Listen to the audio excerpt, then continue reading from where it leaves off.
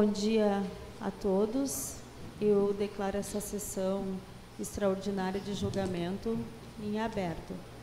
É, eu vou ler o edital de convocação.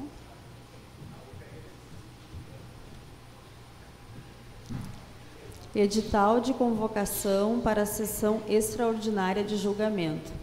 A presidente da Câmara Municipal de Vereadores de Guaíba, no uso de suas atribuições legais, nos termos do artigo 16 da Lei Orgânica Municipal, por solicitação dos vereadores que compõem a CPP 002 de 2018, tendo em vista o disposto no artigo 5 é, do Decreto-Lei número 201 de 67, convoca os senhores vereadores para a realização de sessão extraordinária para julgamento sobre infrações articuladas em denúncia em face do vereador Bento Alteneta da Silva, a realizar-se no dia 23 de outubro de 2018, às 10 horas, no plenário desta Casa Legislativa, com a seguinte ordem do dia: julgamento sobre infrações articuladas em denúncia em face do vereador Bento Alteneta da Silva, conforme o rito estabelecido pelo Decreto-Lei número 201 de 67. Presidente da Câmara Municipal de Guaíba, Fernanda dos Santos Garcia Vieira, e primeiro secretário, Florindo Rodrigues dos Santos. É, eu gostaria de perguntar às advogadas se elas querem se apresentar primeiramente. Doutora Tânia, vocês querem se apresentar primeiramente ou vai deixar para depois? Se vocês quiserem se apresentar agora, fiquem à vontade. Pode se apresentar, então, tem um microfone ali, se vocês quiserem né, se apresentar. Muito bom dia a todos.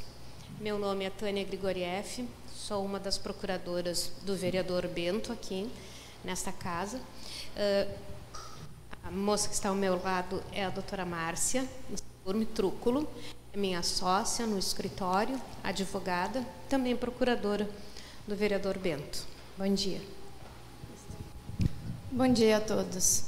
Agradecemos a oportunidade de estar aqui hoje. Obrigada. Agora vamos passar para a leitura do processo.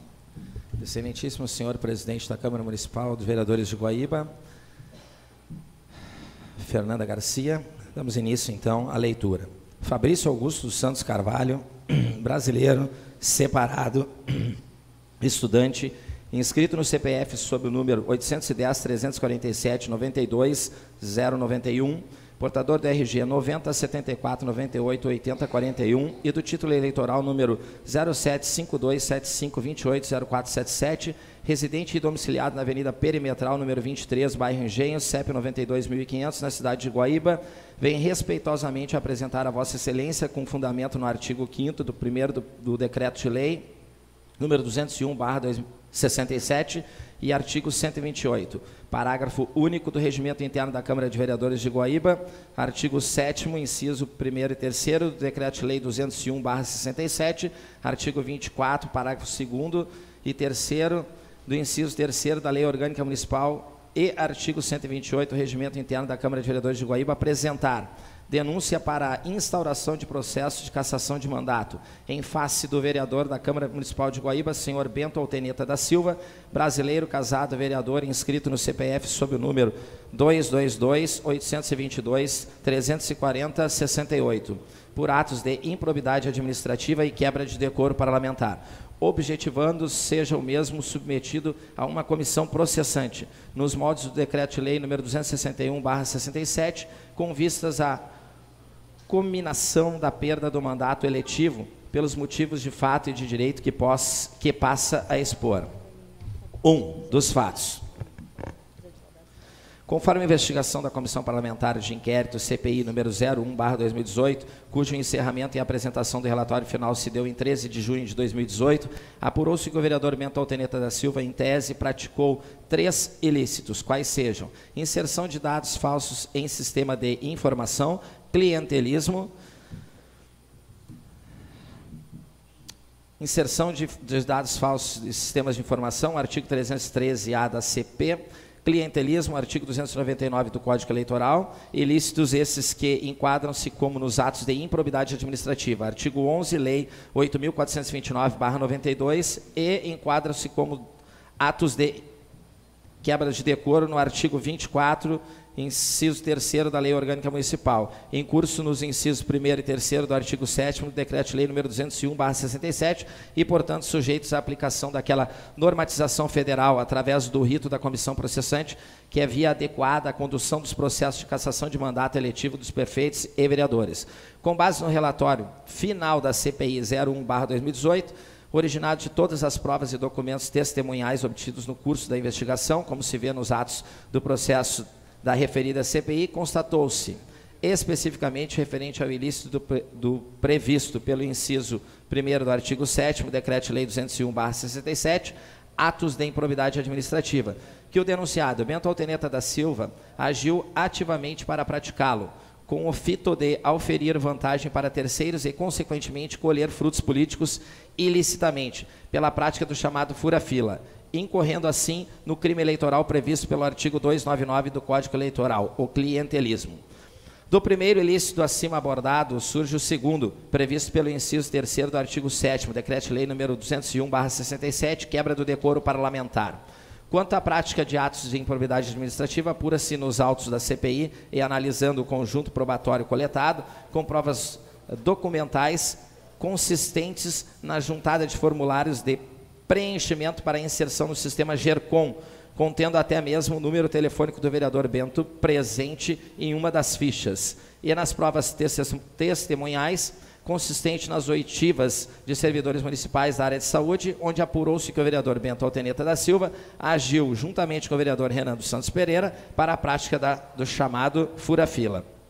A partir do relato das testemunhas, identifica-se que, além de atuar para si, o vereador Renan dos Santos ajudava o vereador Bento Alteneta da Silva a buscar vagas e encaminhamentos desejados para favorecer munícipes e apoiadores de acordo com suas conveniências e interesses, passando informação falsa de quadro clínico mais grave dos pacientes, relatando ao médico regulador do telesaúde situações mais urgentes do que realmente eram, a fim de que seus pacientes, para que por ele indicados, pudessem ser atendidos com prioridade em detrimento dos que aguardavam na fila dos atendi de atendimentos, em troca de apoio político eleitoral. Consoante ao relatório final da CPI 01-2018, o vereador Bento Alteneta da Silva agiu ativamente para a prática do fura-fila, na forma de clientelismo, importando em ato de improbidade administrativa, visto que caracteriza a improbidade qualquer ação ou omissão que viole os deveres de honestidade, imparcialidade, legalidade e lealdade às instituições.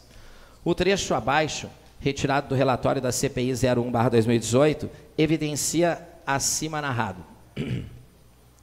Também, conforme relatos de testemunhas, existiu no pronto atendimento de Guaíba uma sala com a finalidade de ouvidora, que, embora possuísse finalidade específica, servia como espaço para efetuar a etapa inicial do fura-fila, em troca de proveitos políticos eleitorais. Nesta sala trabalhavam Luísa Rodrigues da Silva e Bento Alteneta da Silva.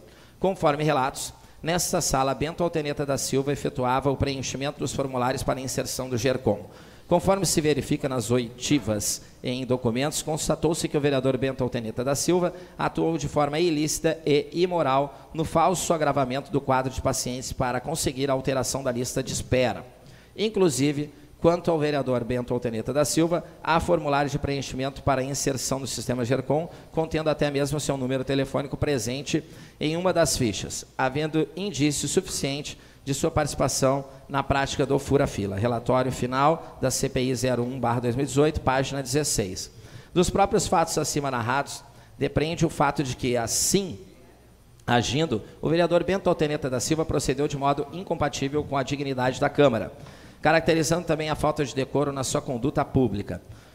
Com substância ainda, mais essa situação, a apuração da comissão investigativa, que constatou que Bento Alteneta da Silva, prevalecendo-se do livre trânsito de unidades de saúde e de sua posição e autoridade de vereador, se utilizava do sistema GERCOM para a prática do que se chama fura-fila. Assim agindo, o vereador Bento caracterizou o tipo penal previsto no artigo 313-A do Código Penal, inserção de dados falsos em sistemas de informação, o que, manifestamente, significa que novamente procedeu de modo incompatível com a dignidade da Câmara, incorrendo na falta de decoro na sua conduta pública. Somente pela exposição negativa e vexatória da Câmara dos Vereadores e seu afastamento mediante cautelar do juízo criminal já seria motivo para um processo de cassação de quebra de decoro parlamentar. Diante dos fatos apurados e brevemente narrados na, na presente denúncia, temos que os ilícitos cometidos, ensejadores de cassação de mandato, de acordo com o decreto-lei número 201/67, estão suficientemente configurados especificamente pela incidência dos incisos 1 e 3 do artigo 7 daquela forma federal, daquela norma federal, pelo que se busca o devido processo, com a finalidade da devida cassação de mandato eletivo do vereador Bento Alteneta da Silva. Número 2, do direito.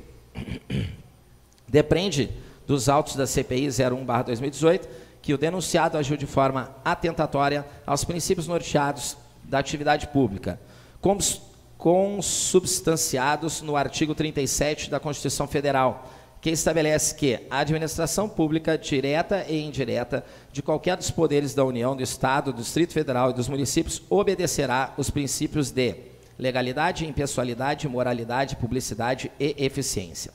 Tal dispositivo incerto na lei maior, inclusive prevê sanções decorrentes dos atos como os praticados pelo denunciado, como se vê no inciso 4 do artigo 37 da CRFB, barra 88, barra 88.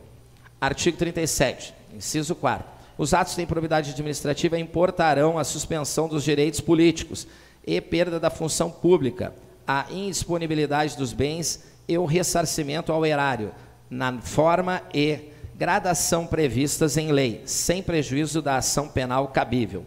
Os atos de improbidade administrativa, em que pese ter o rol taxativo de legitimados para propor as respectivas ações de responsabilização, quais sejam o Ministério Público ou pessoa jurídica lesada interessada, nos termos do artigo 17 da Lei número 8.429-92, também são tratados no Decreto-Lei número 201-67, que foi recepcionado pela Carta Constitucional de 1988. A norma específica sobre a matéria a lei número 8.429/92, Lei de Improbidade Administrativa, sobre o que seja ato de improbidade administrativa, em seu artigo 11, assim dispõe. Artigo 11.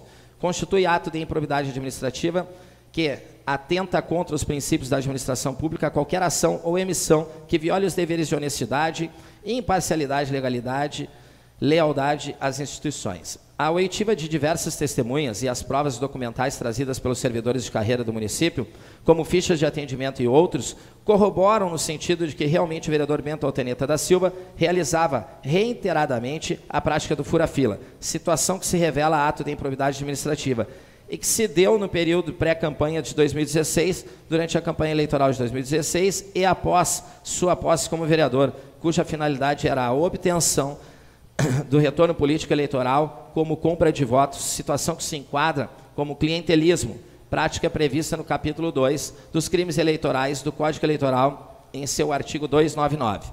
Artigo 299. Dar, oferecer, prometer, solicitar ou receber para si ou para outrem dinheiro, dádiva ou qualquer outra vantagem para obter ou dar voto e para conseguir ou prometer abstenção, ainda que a oferta não seja aceita. Pena: reclusão de até quatro anos e pagamento de 5 a 15 dias de multa. Decreto de Lei número 201/67 que disciplina os casos em que a Câmara poderá ou melhor, deverá cassar o mandato do vereador, assim estabelece. Artigo 7 A Câmara poderá cassar o mandato de vereador quando: primeiro, utilizar-se do mandato para a prática de atos de corrupção e de improbidade administrativa. Segundo, fixar residência fora do município. Terceiro, proceder de modo incompatível com a dignidade da Câmara ou faltar com decoro na sua conduta pública. Nesse mesmo sentido, a Lei Orgânica Municipal, em seu artigo 24, trata dos motivos de perda de mandato dos vereadores, assim dispondo. Artigo 24. Sujeita-se à perda de mandato o vereador que, segundo, utilizar-se do mandato para a prática de atos de corrupção, de improbidade administrativa ou atentatórios às instituições vigentes. 3. proceder de modo incompatível com a dignidade da Câmara ou faltar com decoro na sua conduta pública. Inciso terceiro, é incompatível com o decoro parlamentar, além dos casos definidos no regime interno, o abuso de prerrogativas asseguradas a membro da Câmara Municipal ou a percepção de vantagens indevidas. Por sua vez, o regimento interno da Câmara dos Vereadores, no artigo 128, uh, inciso, parágrafo 1 terceiro e parágrafo único, assim estabelece. Artigo 128. Perderá o mandato vereador que, primeiro, infringir qualquer dos dispositivos do artigo 24 da Lei Orgânica. Terceiro, atentar às instituições vigentes. Atentar contra as instituições vigentes. Parágrafo único. Nos casos de infração do artigo 24 da Lei Orgânica, o processo será iniciado por provocação de membro da Câmara ou de representação documentada de partido político, ou qualquer eleitor com exposição dos fatos e indicação das provas. Sendo assim, presentes seus requisitos legais, é necessário a instalação da comissão processante para o procedimento de cassação do mandato do vereador Bento Alteneta da Silva. Terceiro, dos pedidos, por todo o exposto, requer A. O recebimento de presente de denúncia. B. A formação da comissão processante para devido processo visando a cassação do mandato do vereador Bento Alteneta da Silva. C. A juntada da integralidade dos autos da CPI 01-2018 protesta pela produção de todos os meios de provas em, em direito admitidos, em especial o conteúdo probatório dos autos da CPI 01/2018 e de oitiva de testemunhas. Termos em que pede deferimento. Guaíba, 5 de julho de 2018, Fabrício Augusto Santos Carvalho. Título eleitoral número 07 5275 28 0477.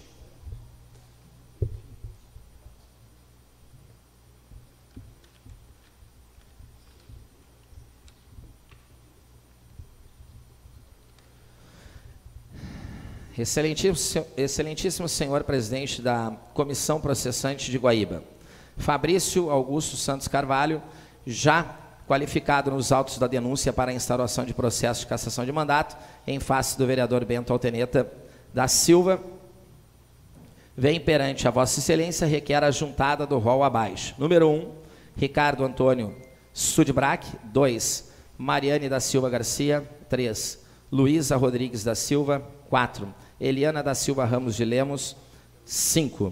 Roberta Beatriz Schultz, 6. Aldine Moraes de Souza, 7. Marione Martins Kovaleski, 8. Michele Salaberri. Todos com endereço profissional na Avenida São Paulo, número 800, Horto Florestal, Guaíba RS. 9. Sandra Leite de Lima, brasileira, residente domiciliada à rua Oswaldo Rodrigues de Lemos, 637, Parque do Nole, Guaíba, RS. 10. Fabiane de Oliveira Bellini, brasileira, residente domiciliada na Avenida Perimetral, número 153, Engenho, Guaíba, RS. Nestes termos, pede deferimento, Guaíba, 17 de julho de 2017, Fabrício Augusto dos Santos Carvalho.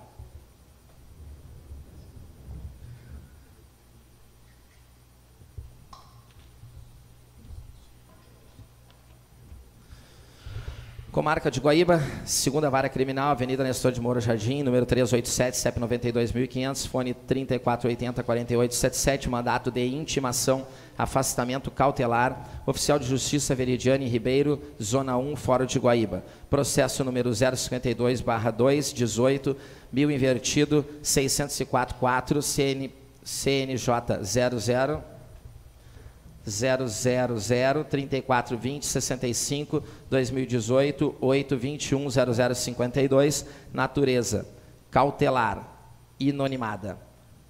Autor Promotoria da Justiça de Venâncio Aires. Réu ignorado senhor presidente vice senhor vice-presidente. Vossa Excelência fica intimado a dar cumprimento na decisão que determinou o afastamento dos investigados agentes políticos presidente da Câmara de vereadores de Guaíba, Renan dos Santos Pereira, bem como nos vereadores de Guaíba, Bento Alteneta da Silva, pelo prazo de até 120 dias, nos termos da decisão abaixo transcrita.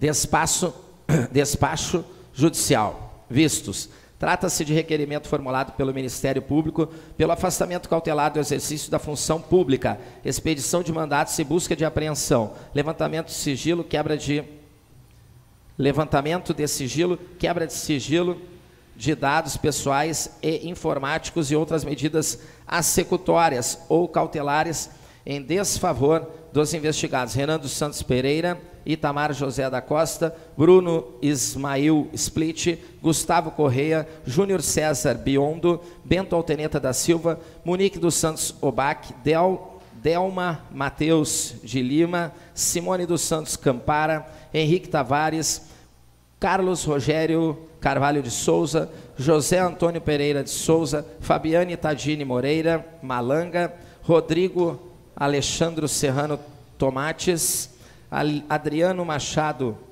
Porharski, Andréia Stumeyer Ribeiro, Tiago Dablo Correia, Fernanda Kubiak, Ricardo Moraes Sundim, Kátia dos Santos, é, Kátia Luza Mendes da Silveira, Cristiano Beck Rodrigues Domingues, Cíntia uh, Ayala dos Santos, Rodrigo César Tibes Hauen, Laíse Gomes dos Santos, Fernanda Vanessa Laiser Hidalgo, Juniel Holanda Torres, Maria Margarete de Oliveira Carvalho, Leandro Luiz Urdig Jardim, João Gabriel de Melo Ramos, Carlise Gussier Beuren, Ana Maria Stumer, Glober André Knucci, Marcelo Botim, Angelita Curli Meneghini, Elisa Fazolin Melo, Estevão Ozawa Gutierrez, Guilherme Nandi, uh, Rodolfo Figueiredo de Carvalho, Antônio Augusto Mascarenhas de Souza, Paulo Henrique Nandi, Analice de Rose Catani, Ana Célia Corsini, Marcelo Casado, Hermes Fazolin Melo, Janise Guedes Machado, Simone Perazoli, Vanessa Morelato Basso, Frederico Klein Gomes, Vanessa Moura Arruê, João Colares Pérez, Andressa Vargas Martins Pinto, Christian da Silva Ferreira, Opus Fisioterapia e Serviços em Saúde Limitada, BRP Soluções Corporativas Eireli, JHT Hospedagens Eireli, filial, Clínica Médica Portuguesa de Beneficência, todos já devidamente qualificados no presente expediente.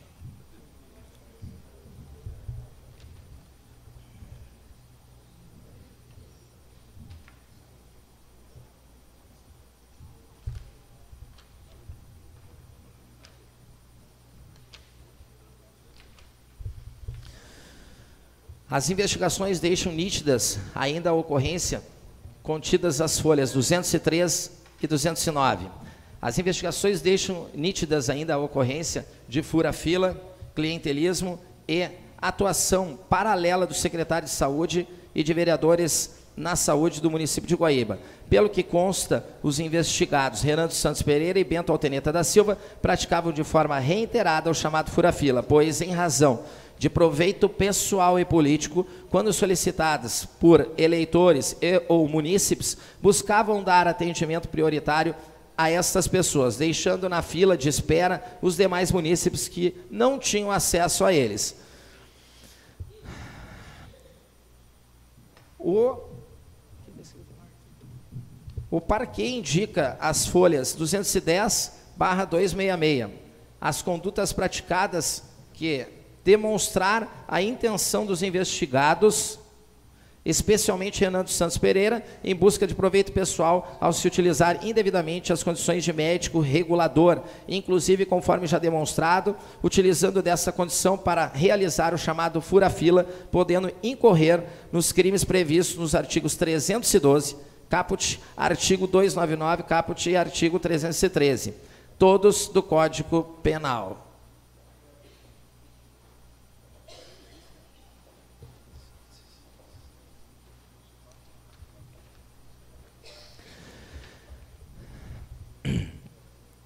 Neste ponto, e com base nas provas carreadas ao expediente pelo parquê, percebe-se que os investigados, secretário municipal da Saúde, Itamar José da Costa, presidente da Câmara Municipal de Vereadores, eu médico, presidente da Câmara de Vereadores de Guaíba, eu médico concursado da Prefeitura Municipal, Renando Santos Pereira, o secretário municipal de Administração, Finanças e Recursos Humanos, Leandro Luiz Urdig Jardim, o vereador de Guaíba, Bento Alteneta da Silva, a funcionária pública municipal e presidente da comissão de licitação do município de Guaíba, Andréia Stromeyer Ribeiro, o funcionário público municipal e membro da comissão de licitações do município de Guaíba, Tiago W. Correia, o funcionário público municipal e membro da comissão de licitações do município de Guaíba, Ricardo Moraes Sundim, ou funcionário público municipal e membro da comissão de licitações do município de Guaíba, Cristiano Beck Domingues, o funcionário público municipal e membro das comissões de licitações do município de Guaíba, Cátia Luza Mendes da Silveira, utilizaram-se da função pública para a prática de diversos delitos. Associação criminosa, peculato, falsidade ideológica, inserção de dados falsos em sistema informatizado da administração pública, crimes contra a ordem tributária, crimes de fraudes à licitação, lavagem de dinheiro, dentro de outros. E, evidentemente, se mantidos no exercício de suas funções, continuaram a praticar crimes e atrapalharão a apuração dos fatos. Assim, a determinação da suspensão do exercício da função pública e a proibição da frequência e acesso dos requeridos à Prefeitura Municipal e à Câmara de Vereadores, ao menos enquanto perdurar o procedimento ou até outra situação posterior que justifique o retorno dos envolvidos, a atividade pública é a medida que se impõe.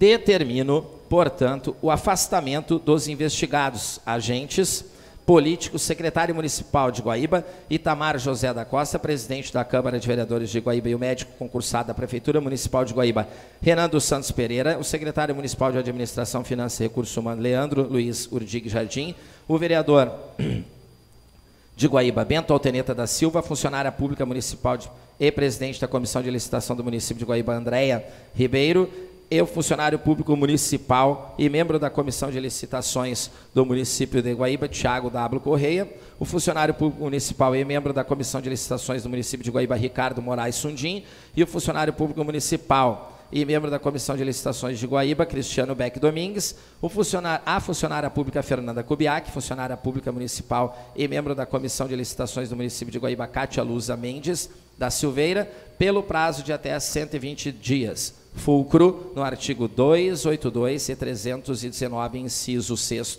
ambos da CPP quinta.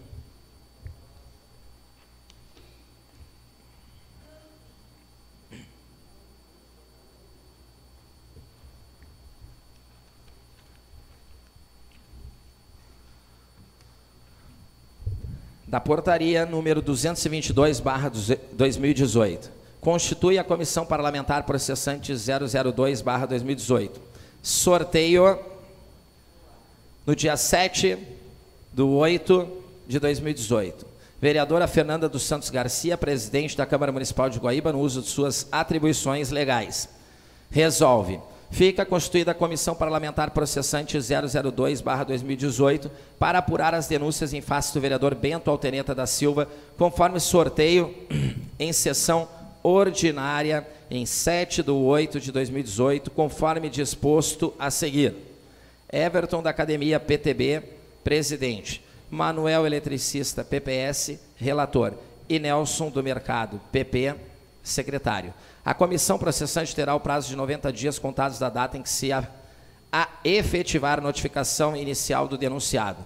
Gabinete da Presidência da Câmara Municipal de Guaíba, em 8 de agosto de 2018, vereador Florindo Rodrigues dos Santos, secretário, vereador Jonas Xavier, segundo secretário, vereadora Fernanda dos Santos Garcia, presidente, registra-se e publica-se José Haroldo Rafael de Quadros, diretor administrativo.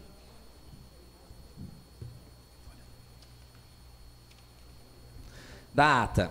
Ata 001-2018. Comissão Parlamentar Processante 002-2018. Denúncia em face do vereador Bento Alteneta da Silva.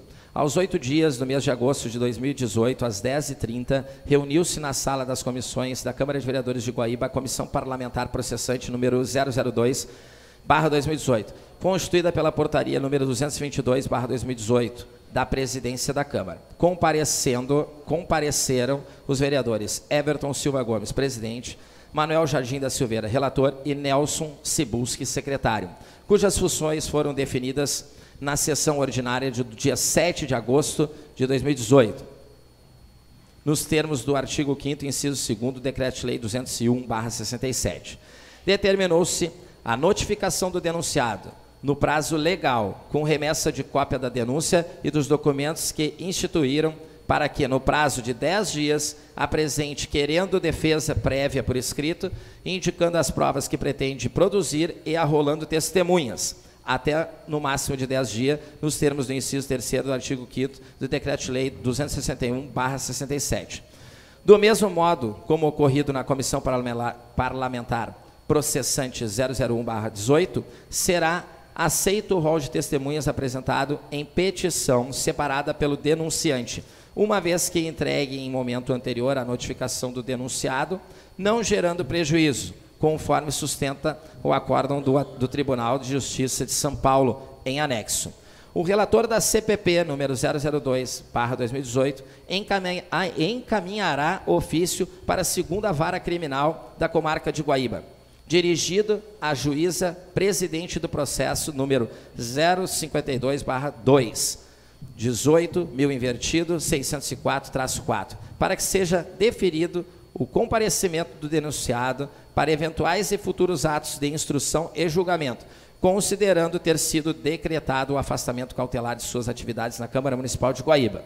Nada mais havendo a tratar, foi dada por encerrada a reunião. Desta forma, foi lavrada a presente ata, que lida e achada conforme é, é assinada pelos presentes vereador Everton Silva Gomes, PTB, presidente, vereador Manuel Jardim da Silveira, PPS, relator, vereador Nelson Cibulski, PP, secretário.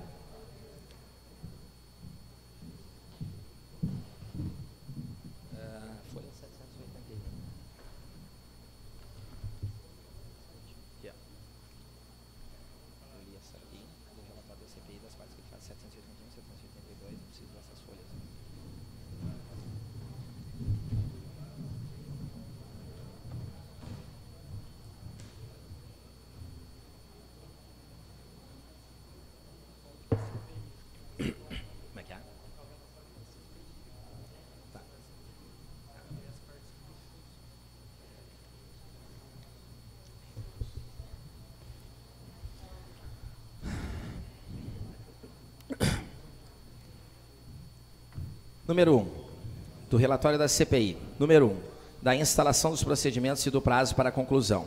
1.1, histórico da criação, composição e início dos trabalhos da CPI.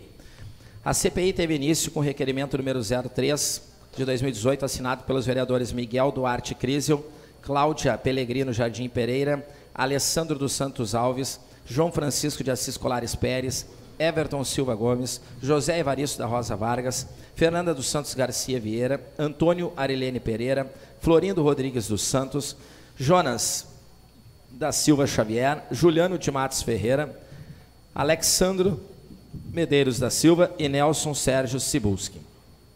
Este requerimento teve como ementa requererem a criação da Comissão Parlamentar de Inquérito, CPI, com a finalidade de investigar as causas que levaram ao afastamento por até 120 dias do vereador presidente da Câmara Renan dos Santos Pereira e vereador Bento Alteneta da Silva.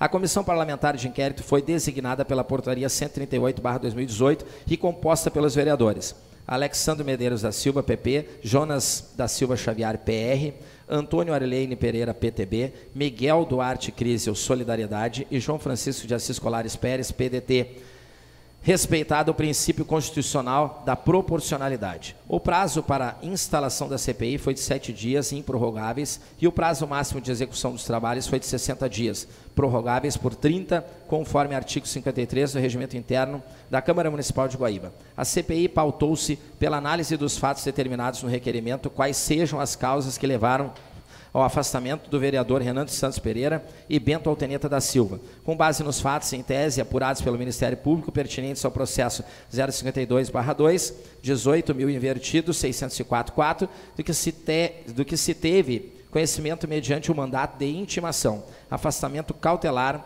datado de 25 de abril de 2018, ordenado pela excelentíssima juíza de direito doutora Paula de Matos Paradeda que levou ao afastamento, dentre outros, dos vereadores Renan dos Santos Pereira e Bento Alteneta da Silva, bem como nas reportagens amplamente divulgadas na imprensa jornalística imprensas locais e televisivas. Os fatos, objetos da investigação e o seu esclarecimento tornam-se, então, os objetivos dessa comissão parlamentar de inquérito, CPI.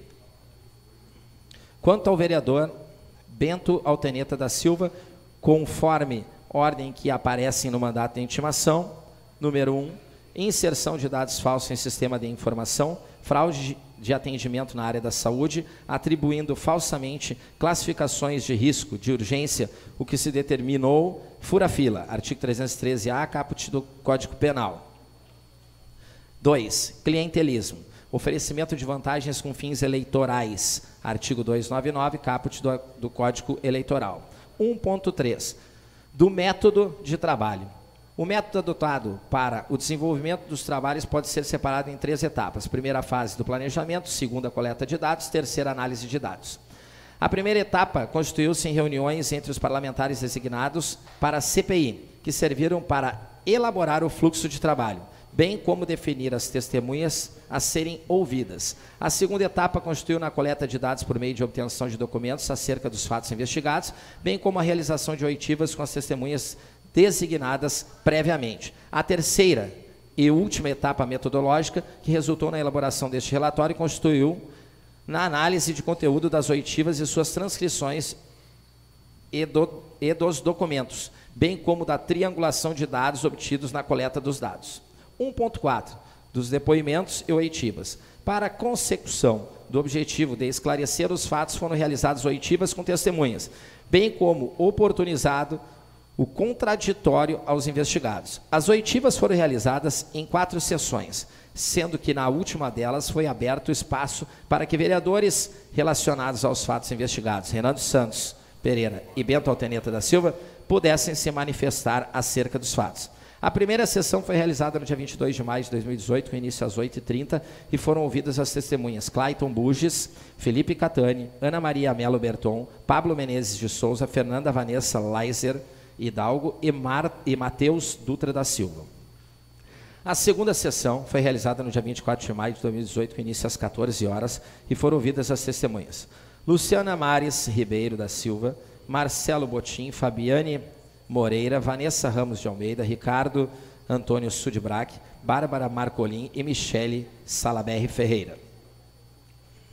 A terceira sessão foi realizada no dia 5 de junho de 2018, com início às 8h30, e foram ouvidas as testemunhas Fabiane de Oliveira Bellini, Cristiano Beck Domingues, Luísa Rodrigues da Silva, Kátia Fernanda Coutinho Garcia, Marione Martins eh, Kovaleski, Adriano Paz Rodrigues, Eliana da Silva Ramos e Ramos Elemos e Bruno Ismail Split. A terceira sessão foi realizada no dia 6 de junho de 2018, com início às 14 horas, e foram ouvidas as testemunhas. Aldine Moraes de Souza, Roberta Beatriz Schultz Campos, Sandra Leite de Lima, Leandro Luiz Urdig Jardim e Itamar José da Costa. Além disso, também foi ouvido o depoimento do vereador Bento Alteneta da Silva, que foi acompanhado por advogado. O vereador Renan dos Santos não compareceu à sessão, mas designou procuradores, os quais foram disponibilizados espaço para se manifestarem e assim o fizeram.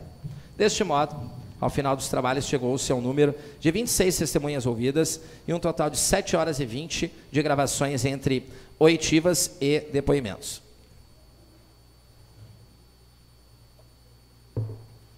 Um ponto cinco. Diligências externas. Durante o desenvolvimento dos trabalhos dessa CPI, foi necessário realizar diligências externas. Salienta-se que foram encaminhados pedidos de informações e acesso aos autos do processo para a segunda vara criminal de Guaíba, Tribunal de Contas do Rio Grande do Sul, TCRS, além de uma busca e apreensão de um computador na unidade de saúde da Prefeitura Municipal de Guaíba, no bairro Coab, Santa Rita. A segunda vara criminal de Guaíba não retornou à diligência, sendo que o Tribunal de Contas do Rio Grande do Sul, retornando à diligência, enviou documentos consistentes nos processos em andamento naquele tribunal, tombados sob o número 00 6513-0200-18-7 e número 005-003-0200-18-7. 1.6 da análise dos processos, dos procedimentos por essa comissão.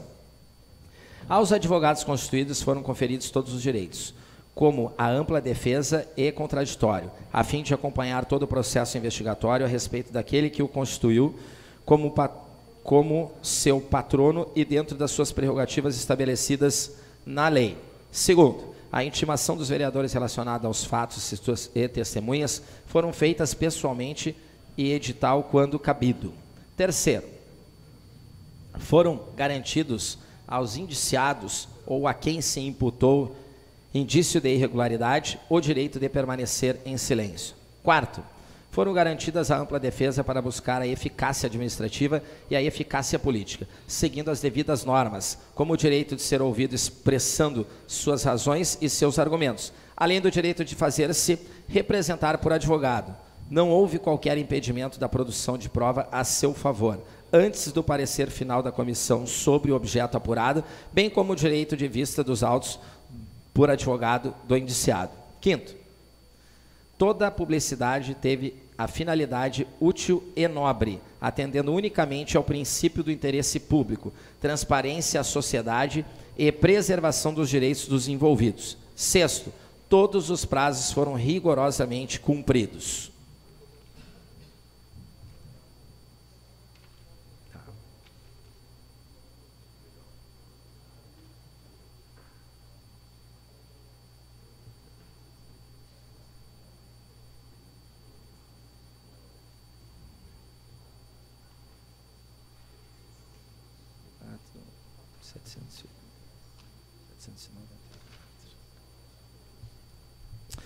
Vereador Bento Alteneta da Silva, 2.9. Fraudes envolvendo o sistema GERCOM e Telesaúde.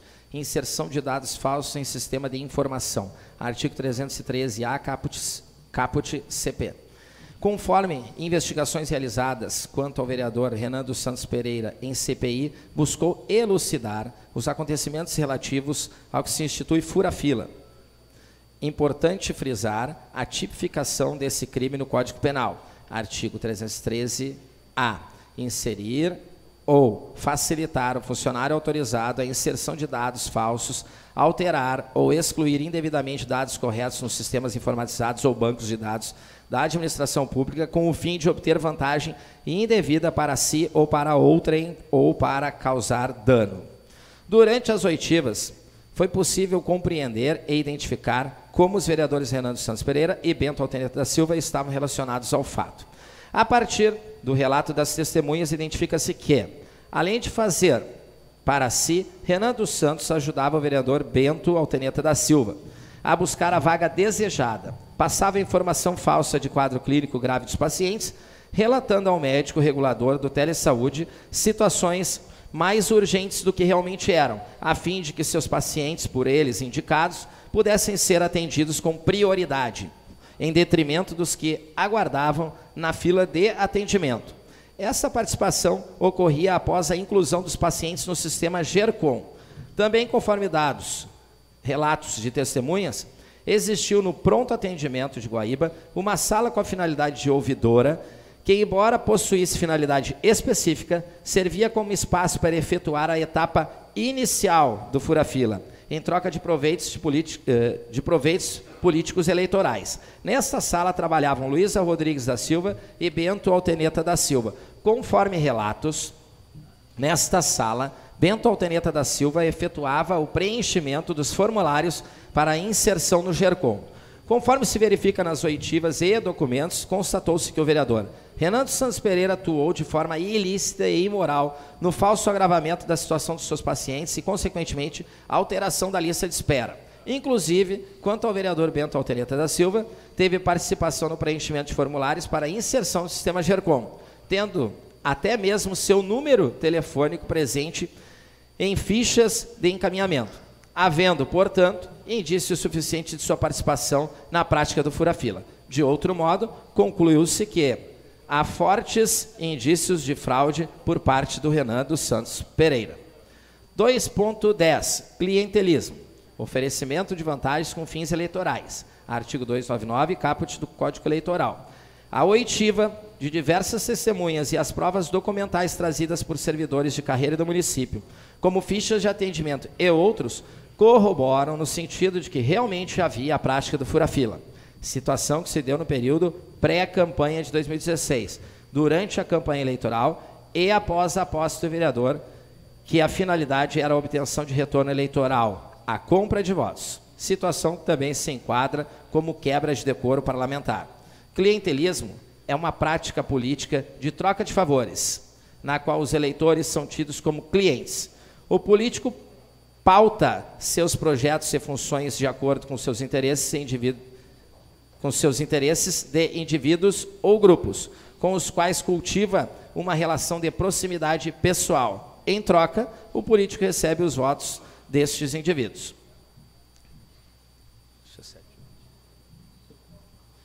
Três, dos fatos correlatos. Vereador Renan dos Santos Pereira, 3.1, improbidade administrativa, lei número 8.429,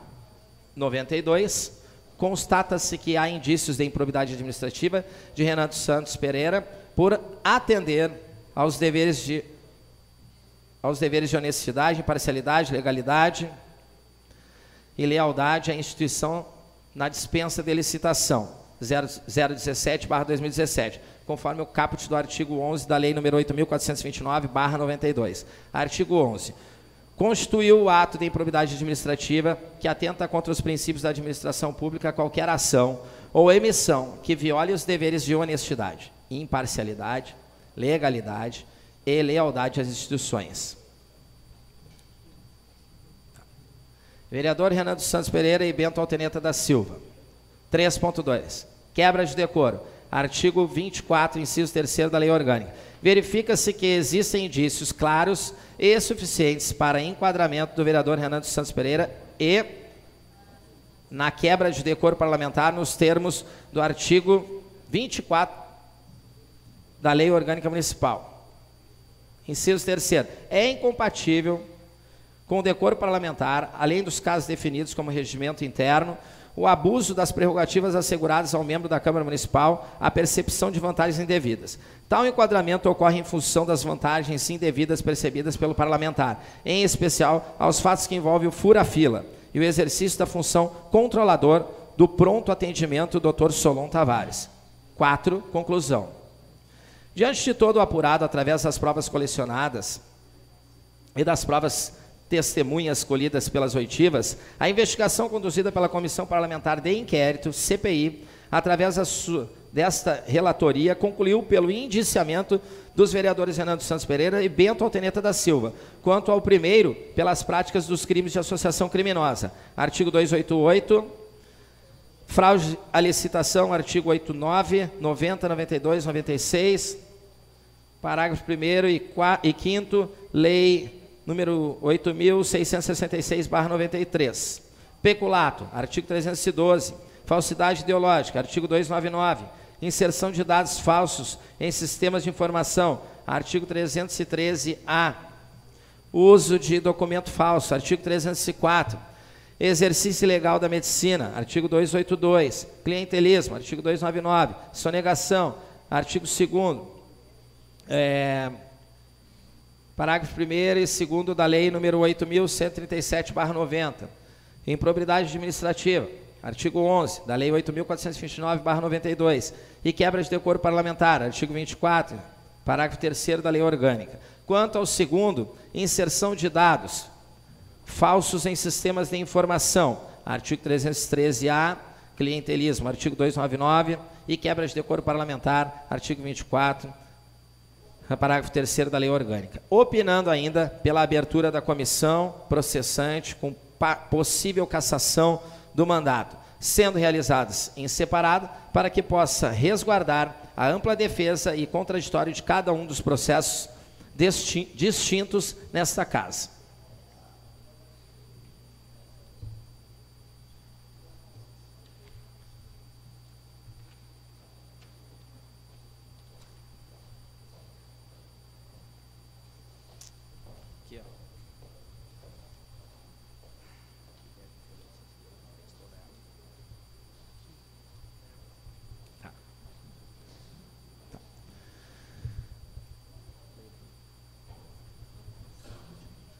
Câmara Municipal de Vereadores de Guaíba, Comissão Parlamentar Processante número 002/2018, ao excelentíssimo senhor vereador Everton Silva Gomes, presidente da CPP.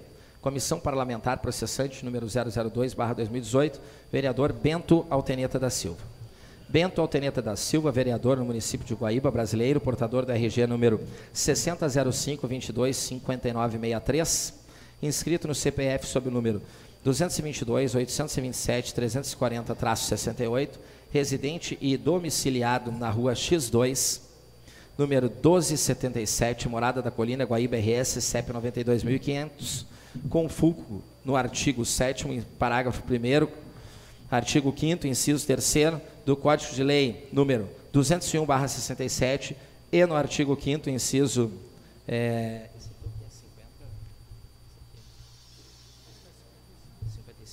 inciso 55 da Constituição Federal de 1988, por suas procuradoras signatárias, vem, perante essa comissão parlamentar processante, apresentar defesa prévia, o que faz os seguintes termos. Número 1. Um, preliminarmente, das nulidades. A. Do processo de cassação de mandato, do rito processual aplicável. Antes de adentrar no mérito da denúncia que é levada ao efeito em que originou a instauração do da presente Comissão Parlamentar Processante número 002/2018, importa abordar questão de ordem processual, condizente com o rito a ser observado em tais casos. Nos termos das disposições regimentais dessa Casa Legislativa, resolução número 16/95, promulgada em 13 de dezembro de 95, pelo então presidente vereador Oswaldo Pereira Melo, a cassação de mandato dos edis demandaria integral observância à legislação federal. Artigo 129.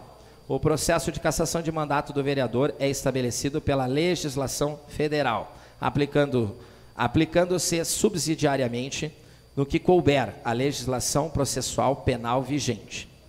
Nesse passo, natural e, inconteste, e, e inconteste que o rito estabelecido pelo Decreto de Lei Federal número 261/67 fosse aplicado, tal que ocorre na espécie em que o próprio ofício de notificação estampa a observância do disposto no seu artigo 5 inciso 3 para a concessão do prazo de defesa prévia ao vereador processado. Todavia, é cedido que o referido decreto de lei federal número 201/67 foi decretado no auge do período da ditadura militar pelo então presidente da República, Marechal Humberto de Alencar Castelo Branco, tendo sua gênese jurídica no famigerado Ato Institucional número 4, de 7 de dezembro de 1966, que visava assegurar a centralização do poder. Naquela época, os municípios não eram dotados da capacidade de auto-organização, já que ainda organizados em todos os seus aspectos, financeiro, administrativo e político, por leis estaduais e federais. Sua autonomia somente se efetivou quando eles conseguiram liberdade para elaborar suas próprias leis orgânicas, o que veio a ocorrer somente com a promulgação da Constituição Federal de 1988. Antes dela, tratavam-se apenas de uma subdivisão administrativa dos estados, com pouco ou nenhuma autonomia administrativa.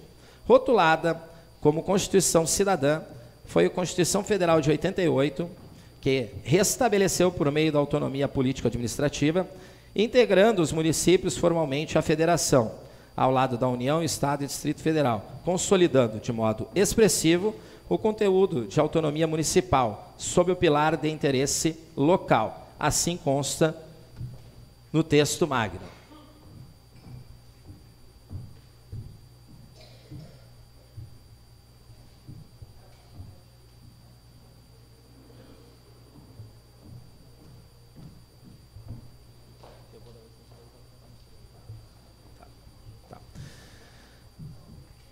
Título 3 da Organização do Estado, capítulo 1, da Organização da Política Administrativa, artigo 18.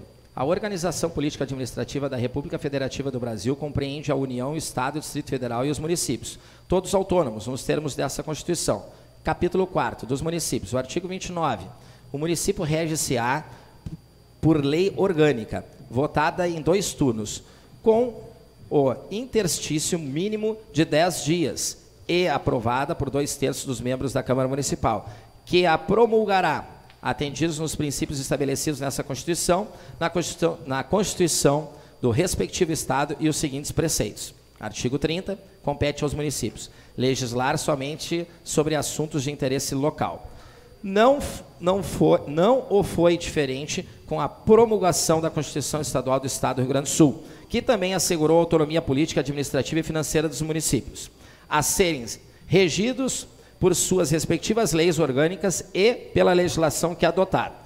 Capítulo 2 dos municípios, seção 1, disposições gerais, artigo 8 o, o município dotado de autonomia política, administrativa e financeira, reger-se-á por lei orgânica e pela legislação que adotar, observados os princípios estabelecidos da Constituição Federal e Constituição, e nessa Constituição.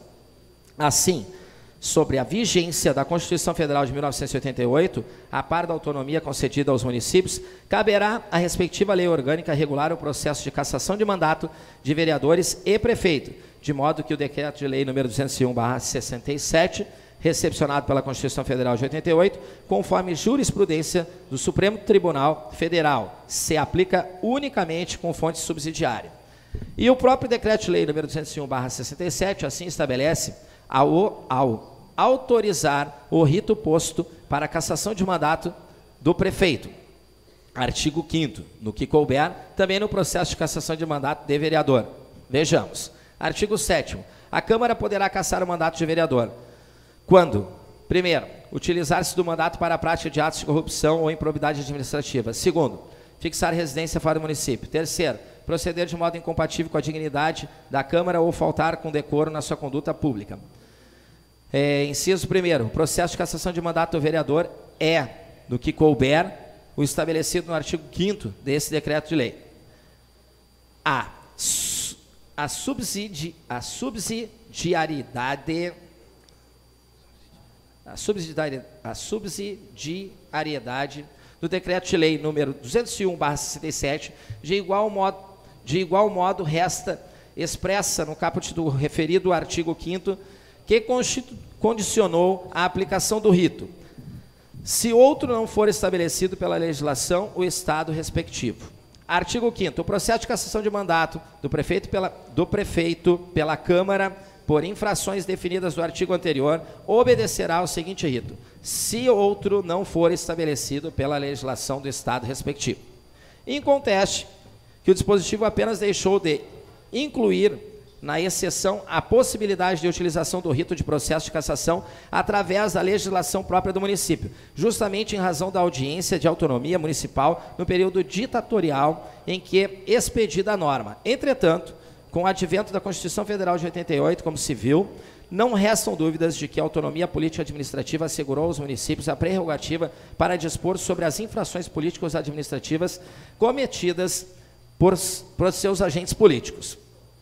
Nesta toada, colhe-se ensinamentos de Eile Lopes Meirelles. O processo de cassação de mandato é o regulado no artigo 5 da Lei de Decreto número 201, barra 67, se outro não for estabelecido pela lei orgânica do município.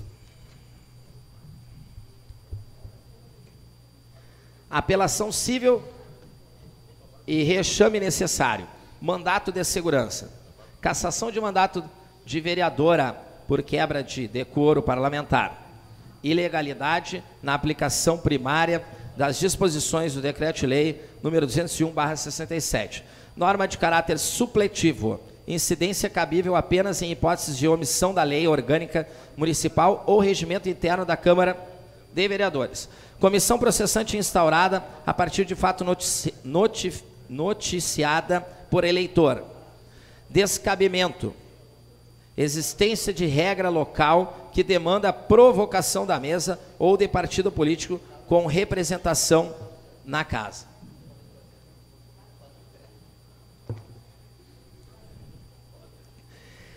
Decreto legislativo de cassação. Necessidade de voto secreto. Previsão regimental e lei orgânica municipal de São Pedro de Alcântara. A conformidade com o texto constitucional vigente à época dos fatos. Regra não observada. Declaração de invalidade do ato que se mantém. Direito líquido e certo violado. Sentença mantida. A comissão, a composição da comissão especial de inquérito instaurada em face do impetrado para a apuração de suposto ato de quebra de decoro parlamentar, acabou por ignorar as regras constantes do regimento interno da Câmara de Vereadores, vez que teve como base o Decreto-Lei 201/67, o qual, por sua vez, apenas deve ser aplicado de forma subsidiária.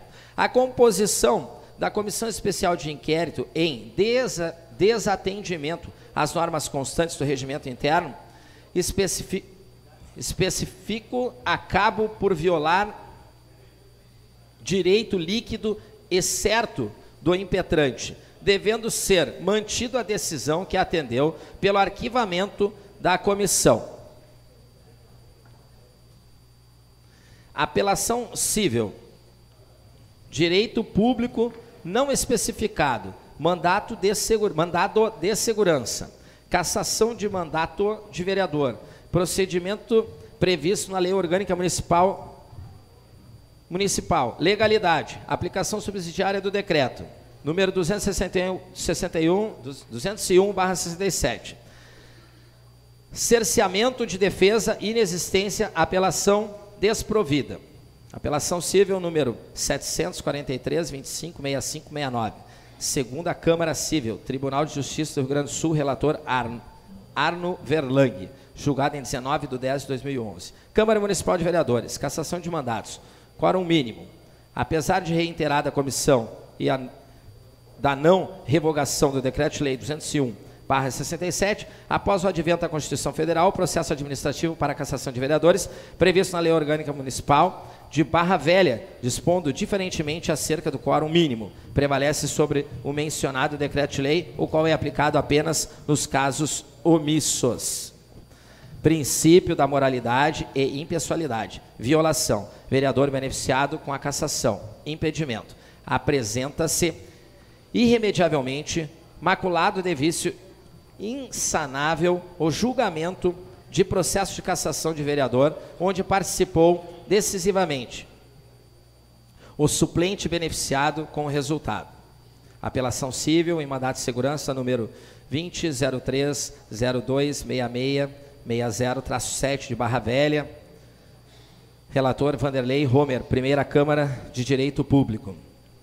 Prefeito, cassação, rito procedimental, lei orgânica do município, inteligência dos artigos 29, decreto de lei número 201/67, aplicação subsidiária. Com o advento da Constituição da República de 88, a forma procedimental referente ao processo de cassação de mandatos de prefeitos é a matéria a ser regulada pela lei orgânica do município, aplicando-se subsidiariamente o decreto-lei número 261, é, 201/67, somente quando silente a legislação municipal. Desta feita, considerando o processo de interpretação sistemática e teleológica, havendo lei municipal específica, deve esta ser observada e quanto à perda de mandato dos vereadores, assim estabelece a Lei Orgânica Municipal do município de Guaíba.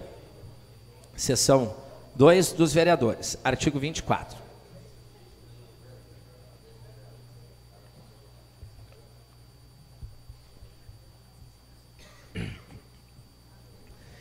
Seção 2 dos vereadores, artigo 24. Sujeita-se à perda de mandato o vereador que, primeiro, infringir qualquer das disposições estabelecidas no artigo anterior. Segundo, utilizar do mandato para a prática de atos de corrupção, de improbidade administrativa ou atentatórias às instituições vigentes. Terceiro, proceder de modo incompatível com a dignidade da Câmara ou faltar com decoro na sua conduta pública.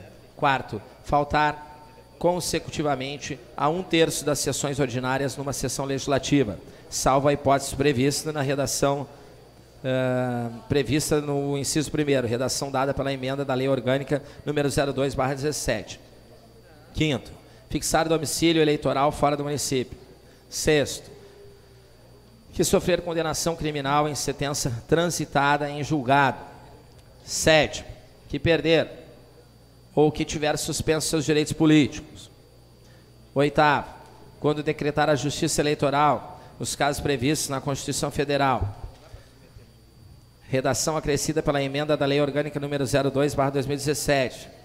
É, parágrafo 1 As ausências não serão consideradas faltas quando for motivo de força maior. Se, segundo, é objeto de disposições regimentais o rito a ser seguido nos casos deste artigo, respeitadas as legislações estadual e federal. Terceiro, é incompatível com o decoro parlamentar além dos casos definidos no regimento interno, o abuso das prerrogativas asseguradas a membro da Câmara Municipal ou a percepção de vantagens indevidas. Quarto, nos casos do inciso 1, 2, 3, primeiro, segundo, terceiro e quarto, a perda do mandato será decidida pela Câmara Municipal por voto aberto e maioria absoluta, mediante a provocação da respectiva mesa ou de partido político representado na Câmara Municipal, assegurada ampla defesa. Redação acrescida pela emenda de lei número 02/2017.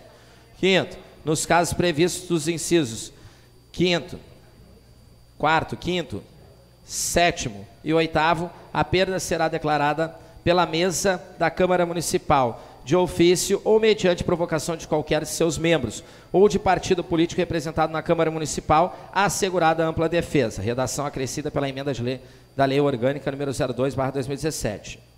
Sexto, a renúncia do, de parlamentar submetido a processo que vise ou possa levar à perda do mandato, nos termos deste artigo, terá seus efeitos suspensos até as liberações finais de que se tratam o parágrafo 4 e 5 redação acrescida pela emenda da Lei Orgânica 02/2017.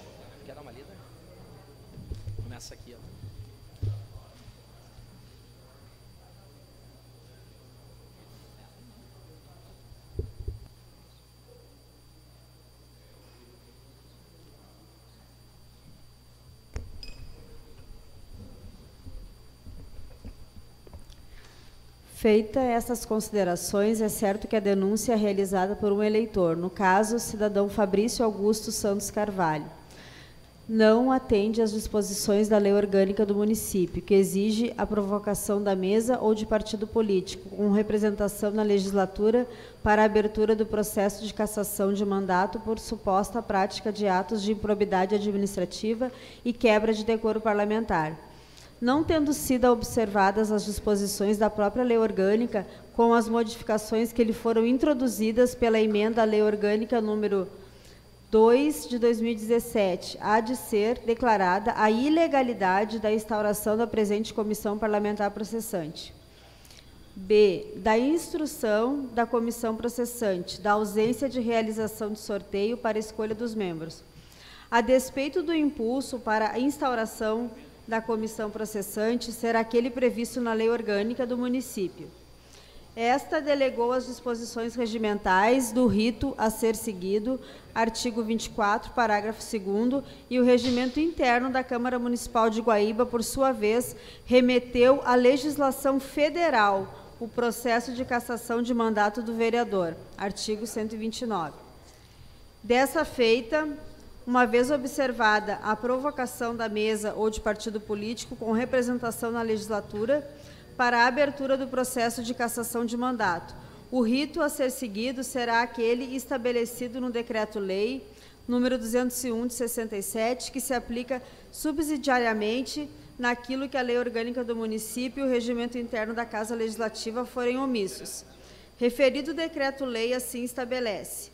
Artigo 5 é, de, posse, de posse da denúncia, o presidente da Câmara, na primeira sessão, determinará sua leitura e consultará a Câmara sobre o seu recebimento. Decidido o recebimento pelo voto da maioria dos presentes, na mesma sessão será constituída a comissão processante, com três vereadores sorteados entre os desimpedidos, os quais elegerão desde logo o presidente e o relator.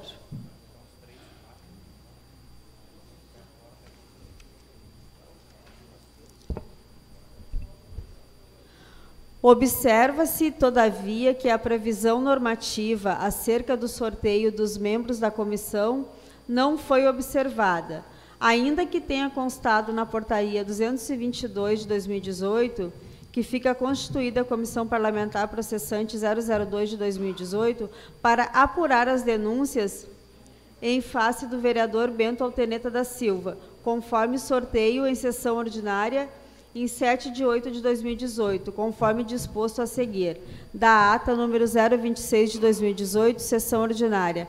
É possível extrair que o aludido sorteio nunca de fato ocorreu, porquanto ausente qualquer registro de sua realização. Inexistindo sorteio para escolha dos membros da comissão processante, nulo é o processo, consoante tem entendido o Tribunal de Justiça do Estado. Reexame necessário, direito público não especificado, mandato de segurança, instauração da comissão processante, número 02 de 2012, visando a cassação do mandato do prefeito do município de Encantado, decreto-lei número 201 de 67 e regimento interno da Câmara de Vereadores, nulidades no processo. Ausência de inclusão do recebimento da denúncia da ordem do dia, inexistência de votação nominal e não realização de sorteio para escolha dos membros da comissão processante. Segurança concedida Sentença confirmada em reexame necessário. Reexame necessário número 700-540-31646. 21ª Câmara Civil, Tribunal de Justiça do Rio Grande do Sul. Relator Francisco José Moesch, julgado em 15 de, 3, de 5 de 2013. Agravo de instrumento. Direito público não especificado, mandado, mandado de segurança pedido de liminar, instaura, instauração da comissão processante número 01 de 2012, visando a cassação do mandato do prefeito do município de Encantado por infração político-administrativa, decreto-lei 201 de 67 e regime interno da Câmara de Vereadores. Nulidades no processo, ausência de inclusão do recebimento da denúncia na ordem do dia, inexistência de votação nominal e não realização de sorteio para a escolha dos membros da comissão processante. Pedido que subsume na previsão do artigo 7 da Lei número 12016 de 2009, presença do deferimento da liminar para a suspensão do processo administrativo de cassação. Agravo provido. Agravo de instrumento número 70052330255 21ª Câmara Civil, Tribunal de Justiça do Rio Grande do Sul. Relator Francisco José Moeste, julgado em 19 de 12 de 2012. No mérito, não obstante a existência de nulidades da Constituição da Comissão Parlamentar Processante 002 de 2018, consoante exposto, em atenção ao princípio da causalidade e a fim de salvaguardar direitos, passa-se a rebater a peça acusatória e as graves imputações que são feitas ao vereador denunciado. A. Da denúncia da Comissão Parlamentar de Inquérito CPI 01 de 2018. A teor das disposições constantes na peça pórtica, vislumbra-se que denúncia está consubstanciada exclusivamente nas investigações da Comissão Parlamentar de Inquérito número 01 de 2018 e nas conclusões constantes no seu relatório final, que teria, segundo o denunciante, apurado que o vereador Bento Alteneta da Silva, em tese, praticou três ilícitos, quais sejam inserção de dados falsos em sistemas de informação, artigo 313-A, do CP é clientelismo, artigo 299 do Código Eleitoral, ilícitos estes que enquadram-se como atos de improbidade administrativa. Artigo 11, Lei número 8.429 de 92 e quebra de decoro parlamentar. Artigo 24, parágrafo 3 da Lei Orgânica Municipal, e incursos nos incisos 1 e 3 do artigo 7 do Decreto-Lei número 201 de 67. Sendo a Comissão Parlamentar de Inquérito, CPI, número 01 de 2018, a base da denúncia que pretende a decretação da perda do mandato do vereador Bento Alteneta da Silva, importa agora consignar questão de ordem relativa ao procedimento inquisitório realizado, considerando que a unilateralidade do processo não permita, naquela fase, o contraditório. Trata-se da suspeição, suspensão de um dos membros da CPI, o vereador João F. Colares Pérez, também investigado pela suposta prática do crime tipificado no artigo 282 do Código Penal, exercício ilegal da medicina, nos autos do processo cautelar número 052 218001 604-4, que tem por objeto justamente os mesmos fatos que deram causa à instauração da CPI 01 de 2018. Embora não tenha sido também afastado de suas funções, o vereador é acusado, segundo a liminar concedida naqueles autos, pela prática ilegal da medicina, porquanto atuava como médico pediatra no PA Solon Tavares, sem que fosse de fato especialista na área de pediatria. Não bastasse estar sendo também investigado nos mesmos autos, causa espécie que a denúncia para a instauração da presente comissão parlamentar processante número 002 de 2018 tenha sido subscrita por Fabrício Augusto dos Santos Carvalho, casualmente assessor parlamentar do vereador João é, F. Colares Pérez.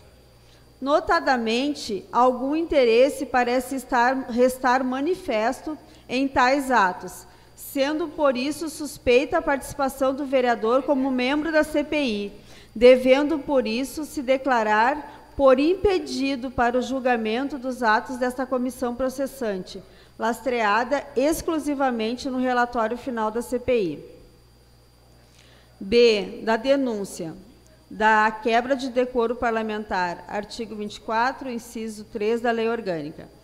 Do referido relatório final, constante as folhas 726 a 745 dos autos da CPI 01 de 2018, extrai-se que, extrai que, que ela tinha por finalidade investigar as causas que levaram ao afastamento por até 120 dias do vereador e presidente da Câmara Renan dos Santos Pereira e do vereador Bento Alteneda da Silva, e que as acusações contra o vereador Bento Alteneda da Silva, segundo a síntese dos fatos investigados, item 1.2, consistam em 1. Um, inserção de dados falsos em sistemas de informação, fraude de atendimento na área da saúde, atribuindo falsamente classificações de risco urgência, o que denominou fura-fila.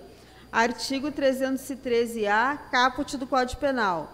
2. Clientelismo, oferecimento de vantagens com fins eleitorais.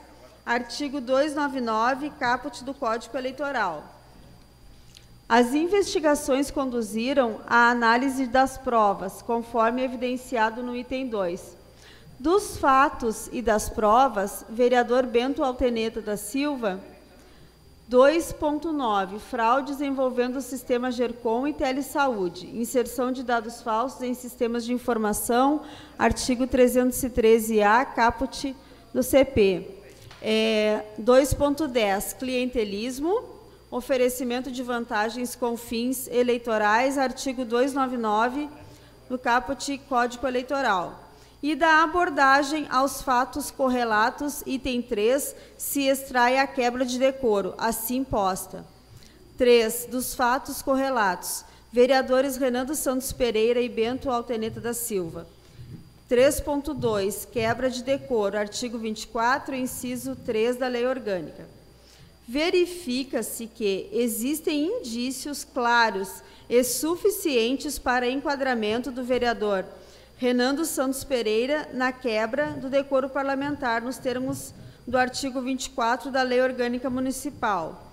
Parágrafo 3 é incompatível com o decoro parlamentar, além dos casos definidos no regimento interno, o abuso das prerrogativas asseguradas a membro da Câmara Municipal ou a percepção de vantagens indevidas.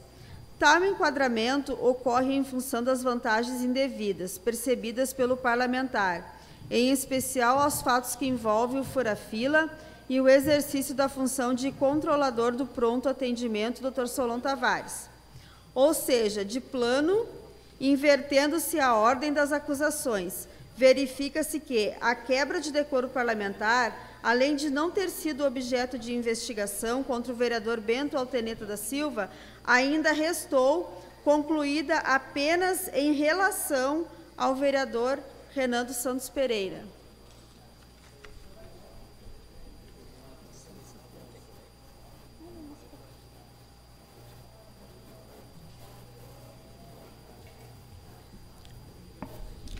Portanto, embora as conclusões da CPI 001 de 2018 para o indiciamento do vereador Bento Alteneta da Silva tenham incluído a quebra de decoro parlamentar, artigo 24, inciso 3 da Lei Orgânica, é fato que tal enquadramento não lhe é afeto, devendo ser julgado pelos nobres pares da Casa Legislativa improcedente o pedido de perda do mandato por suposta quebra de decoro com base no artigo 24, inciso, inciso 3 da Lei Orgânica.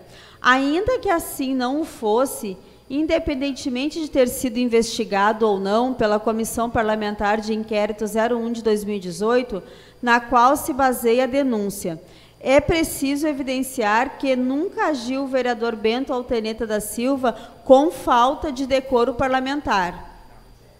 Nota-se que a Constituição Federal preceitua que, no artigo 55, perderá o mandato o deputado ou senador, cujo procedimento for declarado incompatível com o decoro parlamentar Parágrafo 1. É incompatível com o decoro parlamentar, além dos casos definidos no regimento interno, o abuso das prerrogativas asseguradas a membro do Congresso Nacional ou a percepção de vantagens indevidas.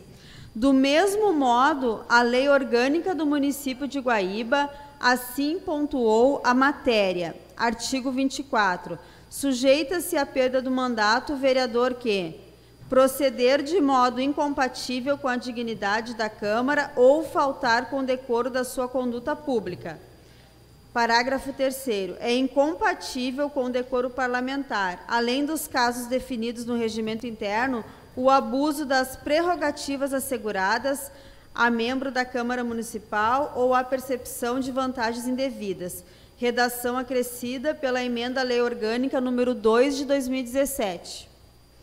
O regimento interno da Casa Legislativa, por sua vez, não elencou os casos de decoro, tendo sido arquivada em 2017 o projeto de resolução 004 de 2017, de proposição do vereador Manuel Eletricista, que objetivava justamente instituir o Código de Ética e Decoro Parlamentar da Câmara Municipal de Guaíba.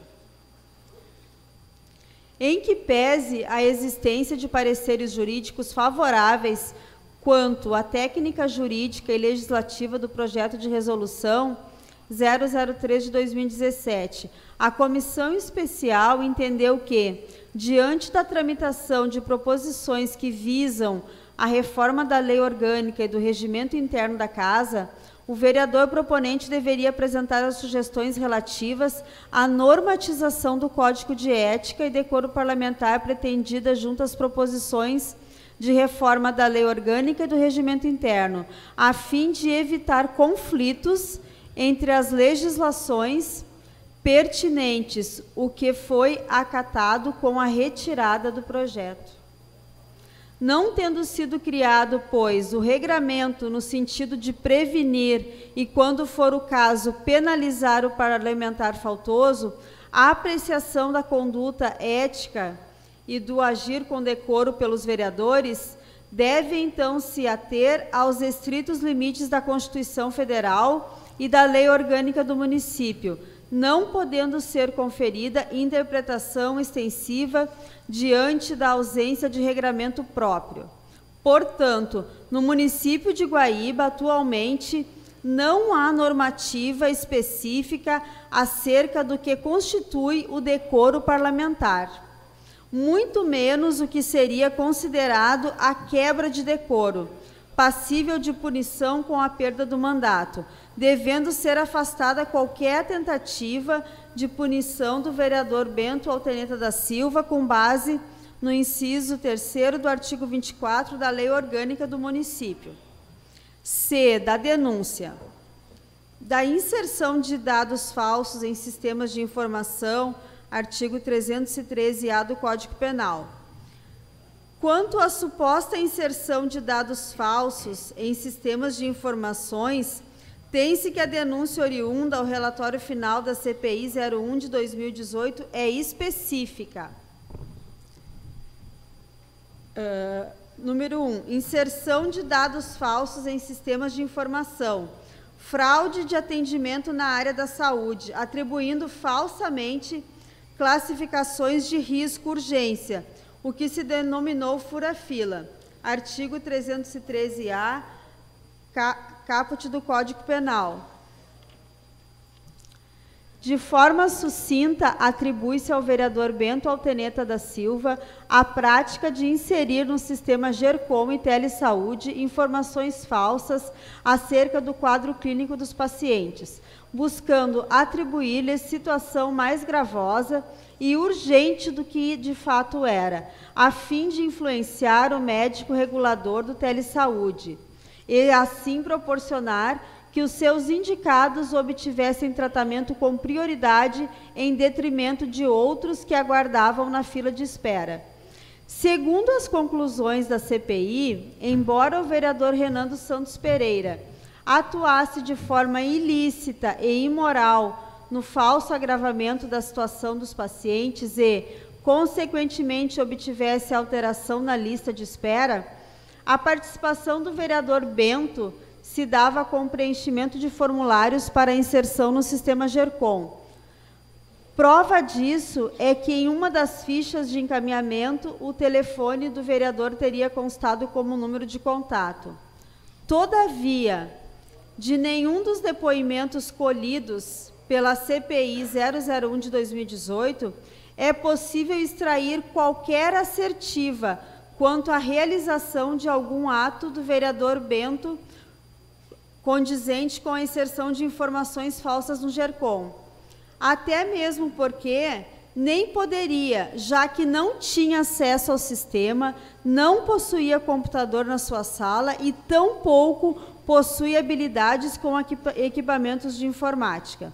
Sua função sempre foi orientar as pessoas quanto à análise da documentação necessária aos encaminhamentos, verificar se os formulários estavam corretamente preenchidos e conduzir as pessoas para os locais certos em que receberiam atendimento, fosse consulta ou marcação de exames. A prova oral colhida apenas reforça o quanto asseverado pelo vereador Bento em seu depoimento perante a Comissão Parlamentar de Inquérito. Bento, né? Na verdade, a gente ficava ali porque todas as pessoas que saíam dos consultórios precisava alguma orientação para fazer exames. Autorizava exames, né? Eles procuravam alguma coisa, tipo pessoas que precisavam usar fraldas, tinha que orientar para pegar uma documentação, ir até a farmácia. Então era mais assim a informação. Quando dava, na verdade, fazia quase que um serviço geral lá dentro, né? estragava uma torneira, às vezes não tinha como comprar, eu mesmo comprava do meu dinheiro. Chegava a torneira lá, faltava cola. Então era isso daí que a gente prestava serviço à população. Os depoimentos também ratificam a ausência de qualquer possibilidade fática de o vereador Bento Alteneta da Silva ter agido de forma a burlar o sistema, já que qualquer informação lançada no sistema GERCOM era extraída do encaminhamento do médico e ficavam registrados o login de acesso, bem como o horário e a data em que realizado o lançamento, permitindo a identificação do servidor que a efetuou. Do relato feito pela testemunha Adriano Paz Rodrigues, folhas 513 e 522, é possível extrair com exatidão a forma como se processa o lançamento das informações no sistema GERCOM e a intervenção realizada junto ao Telesaúde para priorizar pacientes em estado grave, se não vejamos. Vereador Miguel. E para acessar o GERCOM, tem que ter uma senha e um login? Adriano. Tem que ter um login devidamente cadastrado com a central de regulação, né? E esse login, quando tu acessa, ele fica teus dados cadastrados no sistema, que pode ser abaixado a qualquer momento. Inclusive pegar o que na verdade o GERCOM não é do município, né? Existe outro sistema, por exemplo, o sistema de marcação interna do município, que é essas consultas internas aqui, né? É as consultas internas aqui, cardio, dentro do município, existe o sistema CISREG, que é o sistema que vai consultar para Parobé, e o GERCOM, que é exclusivamente para Porto Alegre. No caso do GERCOM, existe tem que ter um login, no caso, né? Tem que ser cadastrado com a regulação estadual e feito todo esse processo para que saia a consulta no caso, né? Vereador Colares.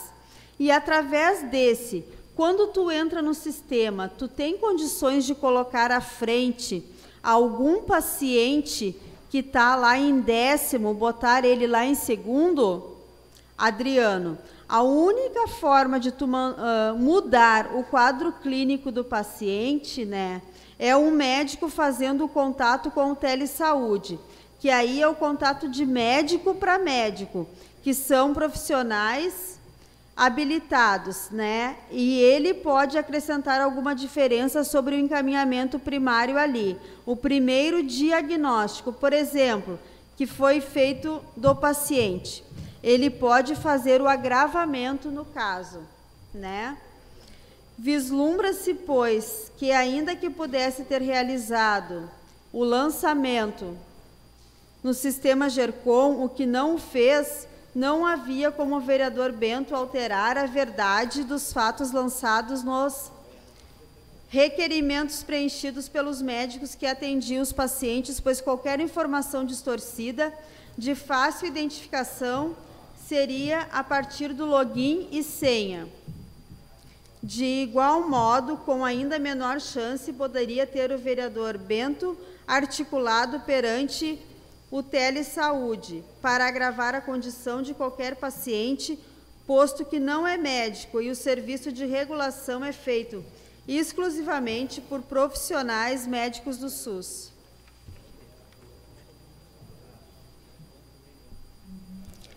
também confirma a total impossibilidade de qualquer participação do vereador Bento Alteneta da Silva no esquema de fura-fila.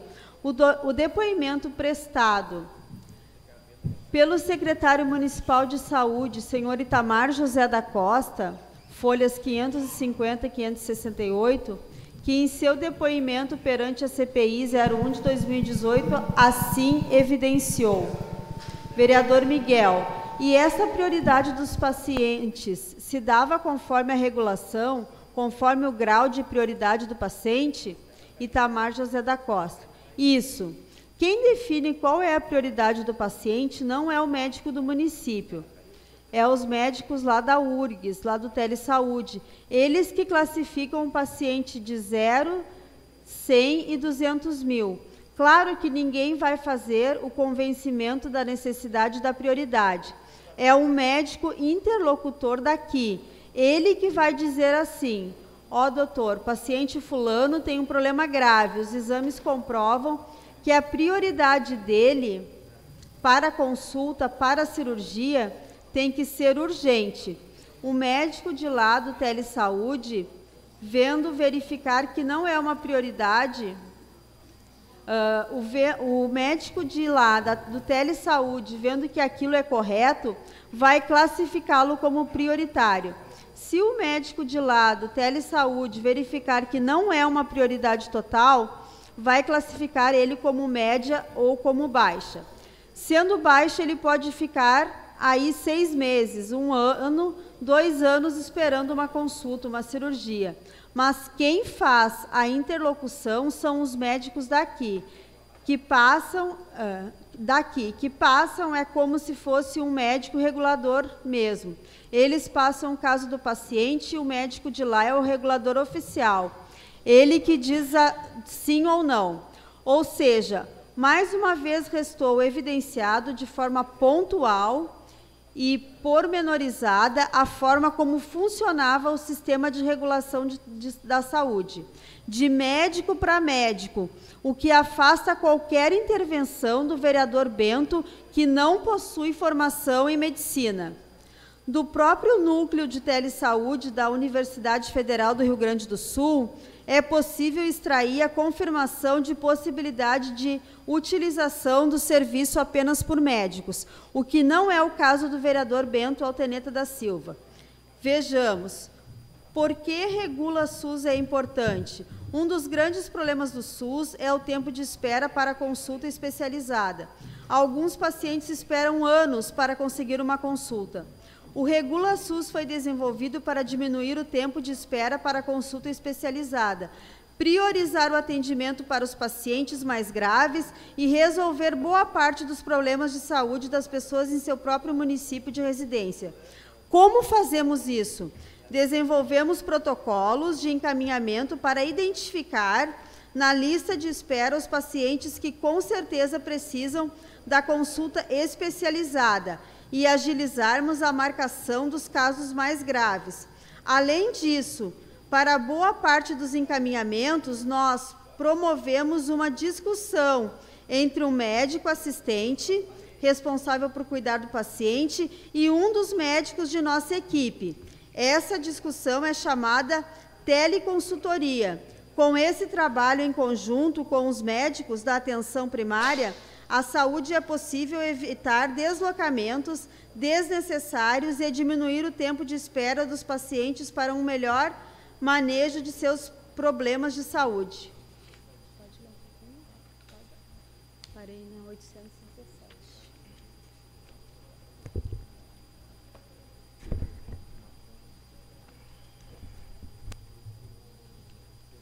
Eu vou pedir licença para os pares da casa, eu vou ler em pé um pouquinho, tá?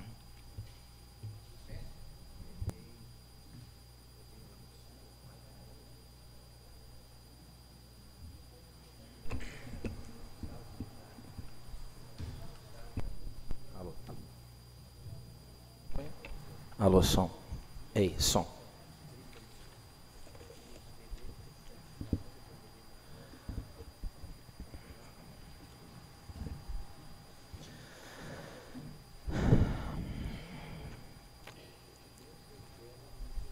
Uh, presidente, chegou ali a folha 818?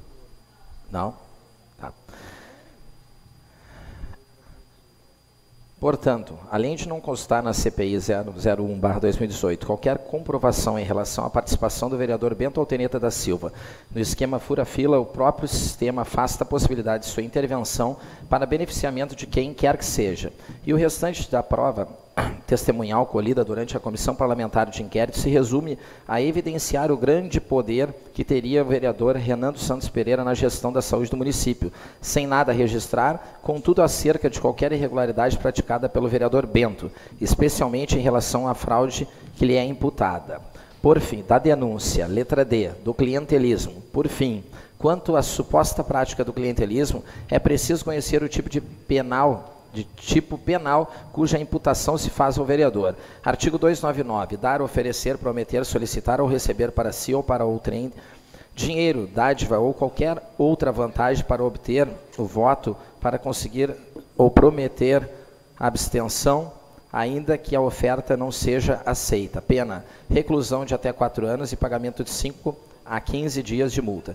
Veja-se que para a configuração do referido delito é preciso muito mais do que simples imputação lastreada em suposições de favorecimento em troca de apoio político ou votos. O próprio Tribunal Superior Eleitoral assim assentou como exigências para a caracterização do tipo. TCE, de 5 de 2 de 2015, o crime previsto neste artigo tutela o livre exercício do voto ou abstenção do eleitor. TCE 26 de 2 de 2013, a acusação da prática de corrupção eleitoral, a peça acusatória deve indicar qual ou quais eleitores teriam sido beneficiados ou aliciados, sem que o direito da defesa fique comprometido. TCE 27 de 11 de 2007, uh, o crime de corrupção eleitoral, por ser crime formal, não admite a forma tentada, sendo resultado mero, mero exaurimento da da conduta criminosa. TCE 15 de março de 2007 necessidade do dolo específico para a configuração deste crime. E a jurisprudência da Corte Superior Eleitoral também assevera agravo regimental, recurso especial, eleições 2012, vereador, vereador, ação penal, corrupção eleitoral, artigo 299 do Código Eleitoral. Número 1. Na decisão agravada, mantém-se acórdão unânime do TRE, por meio de qual por meio do qual se absolveu o agravado, vereador de Rolim de Moura, reeleito em 2016 da prática do crime de corrupção eleitoral no artigo 299 do Código Eleitoral. Dolo específico, benesse condicionada a pedido de voto, inocorrência, rechame, Fatos e provas. Impossibilidade. Súmula 24 TCE. Número 2. O teor do artigo 299 do Código Eleitoral constitui crime de dar, oferecer, prometer, solicitar ou receber para si ou para outrem dinheiro, dádiva ou qualquer outra vantagem para obter ou dar voto para conseguir ou prometer a abstenção, ainda que a oferta não seja aceita. Número 3. O crime da corrupção eleitoral requer dolo específico de se obter voto mediante promessa ou oferta de vantagem indevida. Precedentes. Número 4. Na espécie, não há prova de que o agravado ofereceu transporte a Adriana Cherubim em troca do voto dela e de outra de seis pessoas, evidenciando-se apenas que o candidato e terceiros sabedores que a filha da eleitora necessitava de urgente atendimento médico por fratura de um dos membros superiores há mais de uma semana procuraram auxiliá-la, mas sem condicionante do sufrágio. Número 5. Segundo o TRE, a eleitora, em juízo, assinalou que estava com a filha com o braço quebrado. Precisava de ajuda para ser encaminhada para o hospital, que Messias, agravado, comprometeu a ajudar, porém pediu para que as demais pessoas que estavam no bar lhe ajudassem. Letra B Testemunha, Sirlene Gomes consignou que apenas ligou para o senhor José Messias para perguntar se sabia se alguém naquele momento estava indo para a cidade de Cacoal. Se poderia dar carona para a senhora Adriana no que no que, as, no que o senhor jo, José Messias respondeu que ele estava indo para Cacoal para uma reunião com o deputado Newton Capixaba. C. Geni Moraes, agente administrativo da área de saúde, assentou que em nenhum momento o então candidato vereador chegou a intermediar a cirurgia ou a frequentar o hospital, até porque tinha sido proibida a entrada de candidatos à eleição. Folhas de 520 a 521. Número 6. Concluir acerca da existência do dolo específico demandaria rechame de fatos e provas, providências inviável em sede extraordinária, a teor da súmula 24 do DCE. Conclusão, desprovimento. Número 7, agravo regimental desprovido. Eleições 2006, agravo regimental, agravo recurso especial, ação penal, corrupção eleitoral, artigo 299 do Código Eleitoral, identificação, corruptor eleitoral passivo, inexistente, absolvição desprovimento. Número um, a mera indicação de que todos os leitores, eleitores do município são supostos corrompidos passivos determináveis não é o suficiente para a caracteriza caracterização do delito. Número dois, se a instrução processual não revela qualquer pessoa que comprovadamente tivesse sido agente passivo ou delito, alterar a conclusão do julgamento envolveria o rechame das provas, o que é refutado pelo verbete número 24 do Tribunal Superior Eleitoral. 3 ausente a adequada identificação do corruptor eleitoral passivo, fato esse que impede a aferição de qualquer uh, aferição da qualidade de eleitores, como impõe o dispositivo contido no artigo 299 do Código Eleitoral. Devem ser reconhecidas a inépcia da denúncia e a ausência da justa causa por submissão do paciente da ação penal. 4. Agravo regimental desprovido. Portanto, para que possa o vereador Bento Alteneta da Silva se defender da acusação da prática de clientelismo, é necessário que haja a identificação dos eleitores que teriam sido corrompidos com a promessa de agilidade e preferência no seu atendimento médico e na realização dos exames prescritos em troca do seu voto. Não havendo essa identificação, não há como ser exercido com plenitude o direito ao contraditório e à ampla defesa, restando prejudicada qualquer tentativa de condenação nesse sentido. Número 3. Dos pedidos.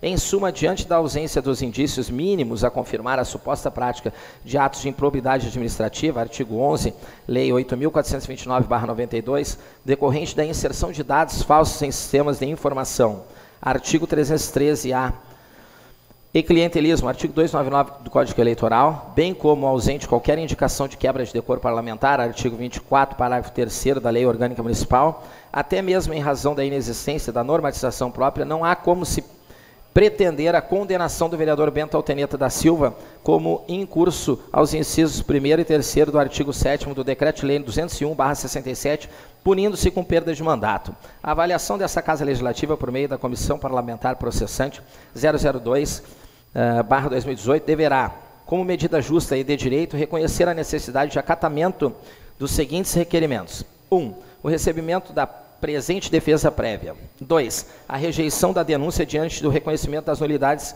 arguidas em relação à instauração da presente comissão uh, parlamentar processante número 002/2018, face à inobservância do rito processual estabelecido pela Lei Orgânica Municipal e a inexistência de sorteio para as escolhas dos seus membros. 3 o arquivamento da denúncia diante da inexistência de qualquer ato de improbidade administrativa ou quebra de decoro parlamentar praticados pelo vereador Bento Alteneta da Silva. 4. Não sendo este o entendimento dessa comissão parlamentar processante, que seja então deferida a produção de todas as provas em direitos admitidas, em especial depoimento pessoal do vereador, a oitiva das testemunhas abaixo arroladas e a juntada de documentos que se fizerem necessários, inclusive prova emprestada, tudo desde já expressamente requerido. Nestes termos, pede e espera deferimento. Porto Alegre, Rio Grande do Sul, 18 de agosto de 2018. Márcia Stum, Trúculo, OAB-RS 53.769 e Tânia Miroslav Grigoriev, OAB-RS 32.823.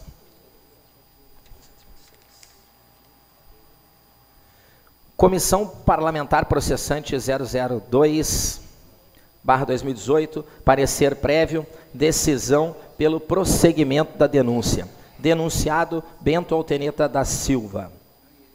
A Comissão Parlamentar Processante 002, barra 2018, em atendimento ao que determina a legislação e após análise da defesa prévia apresentada pelo vereador Bento Alteneta da Silva, emite o presente parecer em observância à norma expressa contida no inciso terceiro do artigo 5 do Decreto-Lei número 261/67, 201/67, que dispõe: Decorrido o prazo de defesa, a comissão processante emitirá parecer dentro de cinco dias, opinando pelo prosseguimento ou arquivamento da denúncia, o qual, neste caso, será submetido ao plenário. Submetido ao plenário. Se a comissão opinar pelo prosseguimento, o presidente designará, desde logo, o início da instrução e, dever, e determinará os atos, diligências e audiências que se fizerem necessários para o depoimento do denunciado e inquirição das testemunhas. Número 1, um, relatório. Trata-se de processo de cassação de mandato do vereador Bento Alteneta da Silva, instaurado a partir da denúncia, instaurado a partir da denúncia protocolada pelo eleitor Fabrício Augusto dos Santos Carvalho, lida e recebida em plenário da Câmara Municipal de Guaíba pelo voto da maioria de seus membros, ao que se seguiu a formação da comissão parlamentar processante através de sorteio.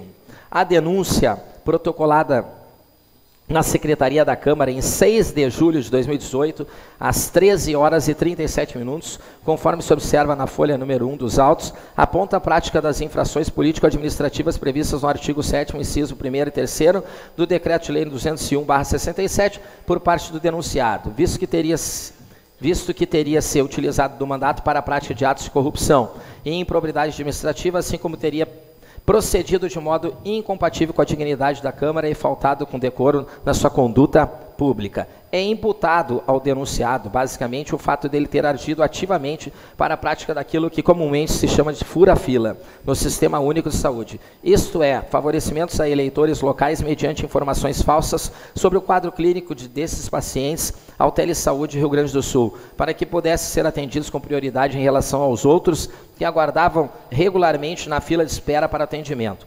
A denúncia recebida e aprovada por unanimidade em plenário da Câmara na forma do artigo 5 inciso 2 do Decreto-Lei 201-67, foi autuada e entregue ao presidente da CPP, número 002-2018, vereador Everton Silva Gomes, que iniciou os trabalhos determinando a notificação do denunciado, com a remessa de cópia de denúncia e dos documentos que a instruíram para que apresentasse defesa prévia no prazo de 10 dias. O denunciado, notificado pessoalmente em 8 de agosto de 2018, folha 799, acostou defesa, defesa prévia no prazo legal, alegando em síntese.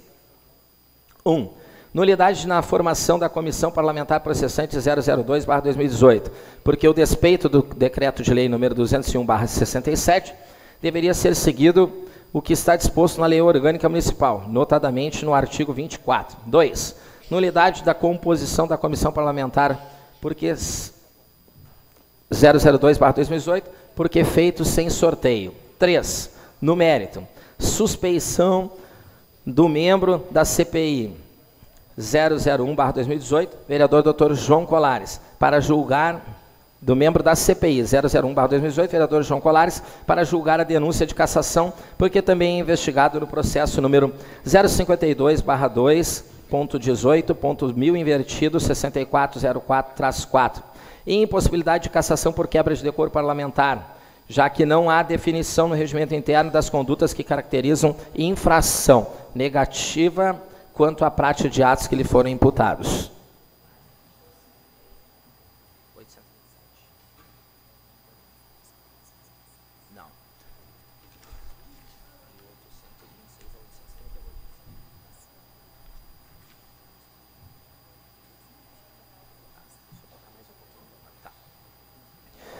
2. Fundamentação. 2.1. Do diploma legal a ser seguido. O denunciado alega que, embora o Decreto-Lei nº 201/67 tenha sido recepcionado pela Comissão Federal de 1988, compete à Lei Orgânica Municipal regular o processo de cassação de mandato de vereadores e prefeitos, aplicando-se o diploma federal apenas subsidiariamente, diante da autonomia política conferida aos municípios. Com efeito, essa é uma divergência que até os dias atuais provoca discussão discussões na doutrina. Entre as que defendem a ideia que cabe aos municípios dispor sobre o processo de cassação, destaca-se Costa, 2002, página 29, o qual afirma: a Constituição de 1988, ampliando a autonomia dos municípios, a esses entregou a tarefa de dis disciplinar o processo de cassação de mandatos municipais, bem como definir infrações políticos administrativas por meio de lei local ou até mesmo sua lei orgânica. Decreto-Lei 201/67 sobrevive à Carta de 1988, mas parcialmente. Seus artigos 4 e 5 estão derrogados por ela a partir da sua vigência. No entanto, o Tribunal da Justiça do Estado do Rio Grande do Sul, em consonância com o entendimento do Superior Tribunal Federal, reconhece o contrário, no sentido de que compete aos municípios dispor sobre seus crimes de responsabilidade e respectivo processo. Porquanto se trata de matéria de competência legislativa privativa da União, na forma do artigo 22 da Constituição Federal de 88. Inicialmente, é preciso fazer esclarecimentos de natureza técnica. O Decreto-Lei número 201/67, como dito, foi recepcionado pela Constituição Federal de 88, mas necessita ser constantemente interpretado à luz da norma constitucional para que seja adequada e corretamente aplicado. Esse diploma legal dispõe sobre a responsabilidade de prefeitos e vereadores, estabelecendo crimes de responsabilidade. Artigo 1 Infrações políticos administrativas, ético-parlamentares. Artigo 4 e artigo 7 puníveis, respectivamente, com pena com pena privativa de liberdade e com cassação de mandato. O Supremo, Tribu o Supremo Tribunal Federal, no HC número 70.671-1, barra PI, reconhecendo a, a recepção do Decreto-Lei 201-67 pela Constituição Federal de 88, lançou a argumentação no sentido de que, na verdade, as condutas do artigo 1 têm natureza jurídica de infrações comuns, apuráveis perante o Poder Judiciário através da denúncia pelo Ministério Público, enquanto os verdadeiros crimes de responsabilidade estão previstos no artigo 4 já que investigados e julgados na Câmara Municipal pelos vereadores. Veja-se a emenda do referido acórdão. Pena processual Pena processual penal. Prefeito, crime de responsabilidade. Crimes comuns. Uh, primeiro, os crimes denominados de responsabilidade tipificados no artigo 1 do Decreto de Lei dos 201 de 67 são crimes comuns que deverão ser julgados pelo Poder Judiciário, independentemente do pronunciado da Câmara de Vereadores. São de ação pública e punidos com pena de reclusão e detenção. E o processo é comum, com penas com pequenas modificações. No artigo 4 Decreto-Lei 201/67 cuida das infrações político-administrativas dos prefeitos sujeitos ao julgamento pela Câmara dos Vereadores e sancionadas com a cassação de mandato. Essas infrações é que podem, na tradição de direito brasileiro ser denominadas de crimes de responsabilidade. Segundo, a ação penal contra prefeito municipal por crime tipificado no artigo 1 do Decreto-Lei 201/67 pode ser instaurada mesmo após a extinção do mandado, do mandato. 3. Revisão da jurisprudência do Superior Tribunal Federal. Quarto, indeferido. Relator Carlos Veloso. Verifica-se então que as condutas então denominadas pelo Decreto-Lei 201/67 como crimes de responsabilidade são na realidade crimes comuns, porque punidos da forma disciplinada pelas leis processuais penais ordinárias, isto é, por meio de processo judicial, cujo início se dá por ação penal pública movida pelo Ministério Público e se conclui ser prudente o pedido, com a condenação transitada em julgado, a pena privativa de liberdade. As verdadeiras condutas tidas como crimes de responsabilidade em relação aos prefeitos são as dispostas no artigo 4 porque punidas com a cassação do mandato em processo de natureza eminentemente política. O mesmo ocorre em relação aos vereadores, no que diz respeito às infrações estabelecidas pelo artigo 7 também denominada pela doutrina como infrações ético-parlamentares. Em ambos os casos de infrações do artigo 4 e do sétimo, o procedimento a ser aplicado é previsto no artigo 5 do Decreto-Lei 201/67. Esse esclarecimento é essencial, o que aqui se expõe uma vez que, segundo o Supremo Tribunal Federal, a competência legislativa para dispor sobre crimes de responsabilidade é privativa da União, artigo 22, Constituição Federal de 88, não cabendo aos municípios tratar dessa matéria, sob pena de transgredir o sistema constitucional de repartição de competências. Eis o teor da súmula número 722 e da súmula vinculante número 46, essa de observância obrigatória pela administração pública. Súmula 722 são da competência legislativa da União a definição dos crimes de responsabilidade e o estabelecimento de respectivas normas de processo e julgamento. Súmula vinculante 46, a definição dos crimes de responsabilidade e o estabelecimento das respectivas normas de processo e julgamento são da competência legislativa privativa da União. Nessa linha, o Tribunal de Justiça do Rio Grande do Sul, como já dito, vem constantemente afirmando que os municípios não têm competência legislativa para dispor sobre os crimes de responsabilidade e, quando o fazem, ainda que na sua lei municipal, as normas resultantes são formalmente inconstitucionais, porquanto atravessam a competência privativa da União. Ação direta de inconstitucionalidade, incisos 6, 8, 12, 15, 14 e 15 do artigo 61 da Lei Orgânica do Município vale, de, vale, de Vale Verde, infrações políticos administrativos, Decreto-Lei 201/67, recepção pela Constituição Federal de 88, legislação municipal sobre a matéria estranha ao, inter, estranha ao interesseiro local e da competência da União inconstitucionalidade das normas impugnadas frente à Constituição Estadual, em face do disposto em seu artigo 8 precedente sobre o tema discutido. Ação direta Ação direta de inconstitucionalidade, IJUI, Lei número 3.477, de 8 de outubro de 1998. Disciplinação da publicidade e da propaganda com previsão de sanção para seu descumprimento. Competência da Câmara para regular da Câmara para regular a matéria, sem que isso signifique invasão de competência privativa crime de responsabilidade respectiva sanção, que não pode ser objetivo de lei municipal, por contravir norma federal expressa no Decreto-Lei 201/67, que tipifica as infrações políticos administrativas não tendo o Estado editado legislação concorrente. A ação julgada parcialmente procedente para proclamar a inconstitucionalidade do artigo 5 da Lei número 3.477 do município de Juí. Ação direta de inconstitucionalidade, Tribunal Pleno, Tribunal de Justiça, relator Vasco della Justina, julgada em 21 de 6 de 99. É por tal motivo que a Comissão Parlamentar Processante número 002, 2018, adotou o Decreto-Lei número 201, 67, para regular o procedimento a ser aplicado neste processo.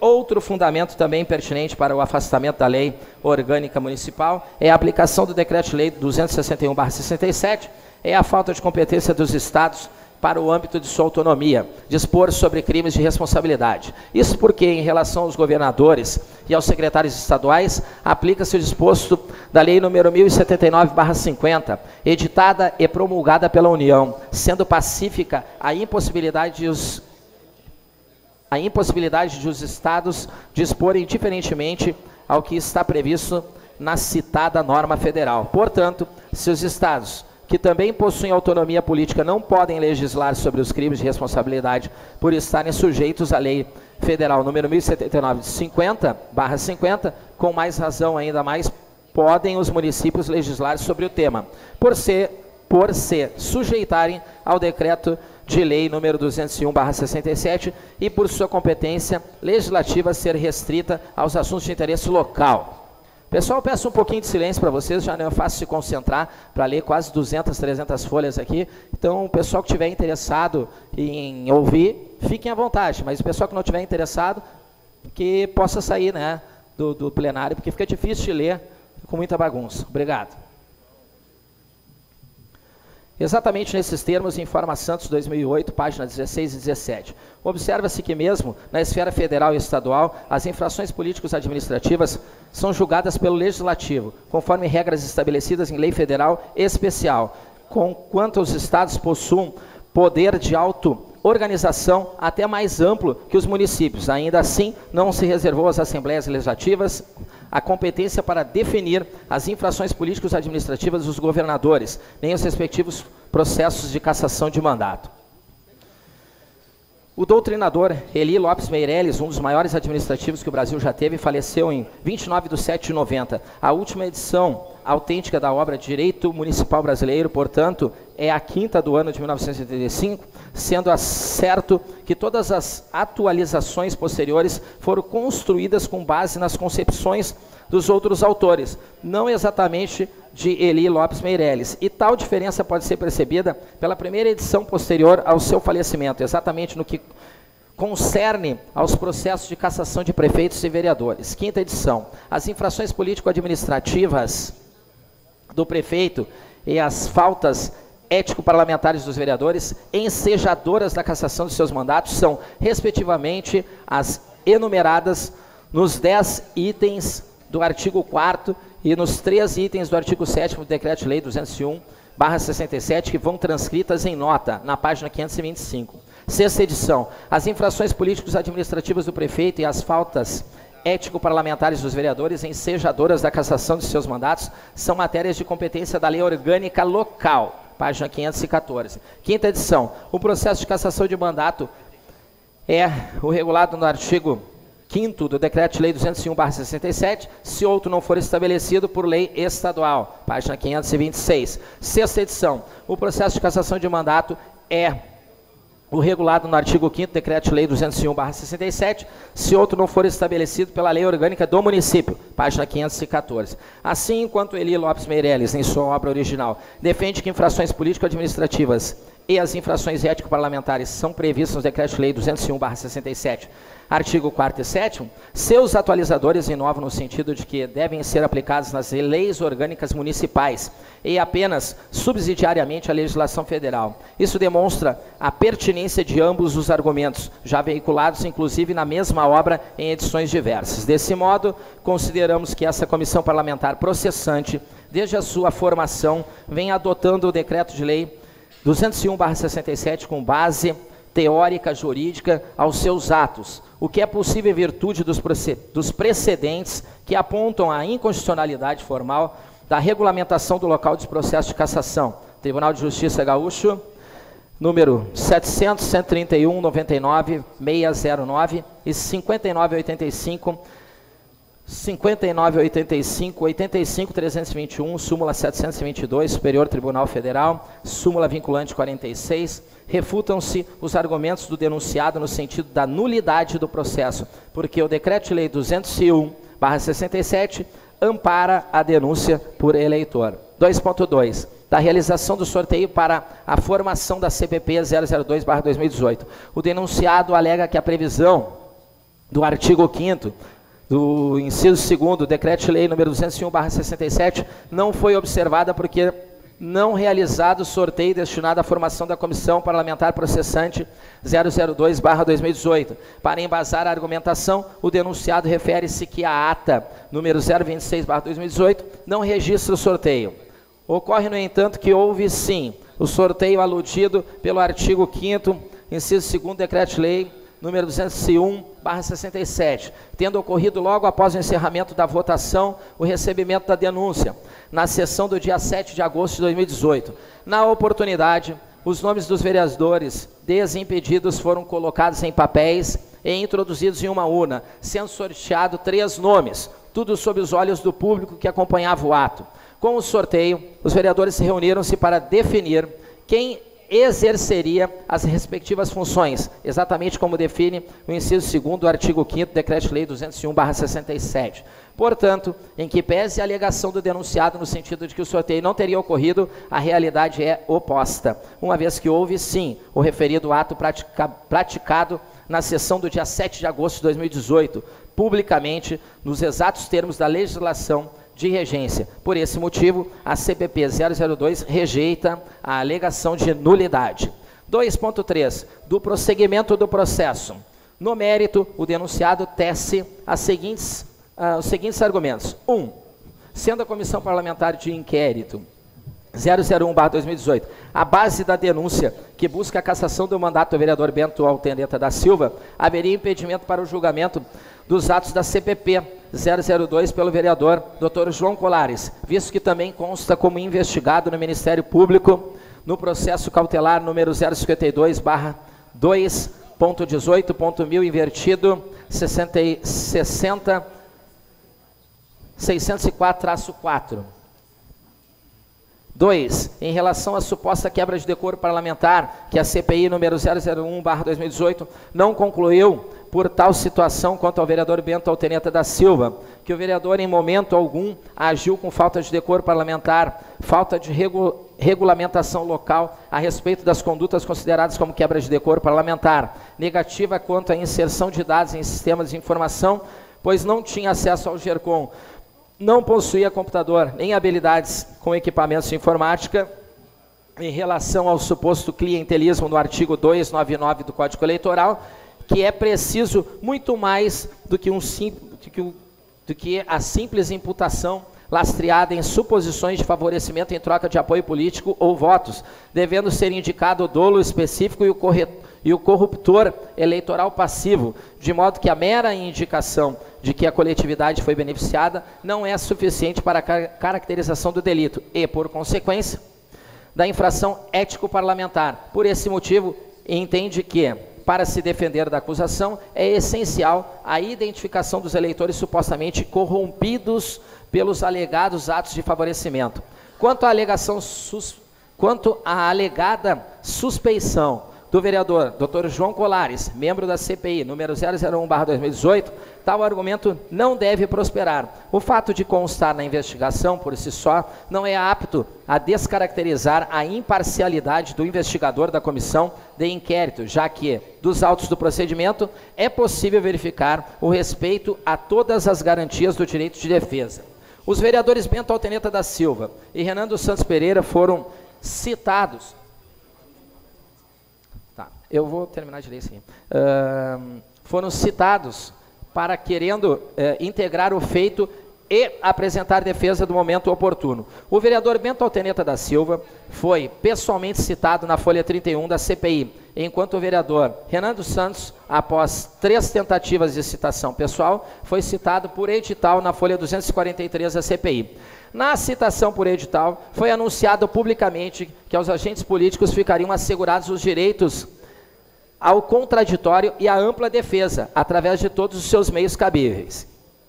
Há no edital ainda informação de que os vereadores seriam novamente informados sobre a data para prestarem depoimento. Em momento posterior, houve realmente novas diligências para localizar os agentes e notificá-los da solenidade designada para prestarem depoimento. O vereador Bento Alteneta da Silva foi informado pessoalmente, folha 266 da CPI, enquanto o vereador Renan dos Santos Pereira não foi localizado, conforme certidão da folha 277 da CPI. De todo modo, ainda que infrutífera a tentativa de notificação pessoal, os advogados do, do vereador Renan dos Santos Pereira juntaram procuração aos autos na folha 281 da CPI e tomaram ciência dos atos e dos termos do processo, folha 280 da CPI, além do que ocorreu a publicação do edital de notificação da imprensa, folha 315 da CPI.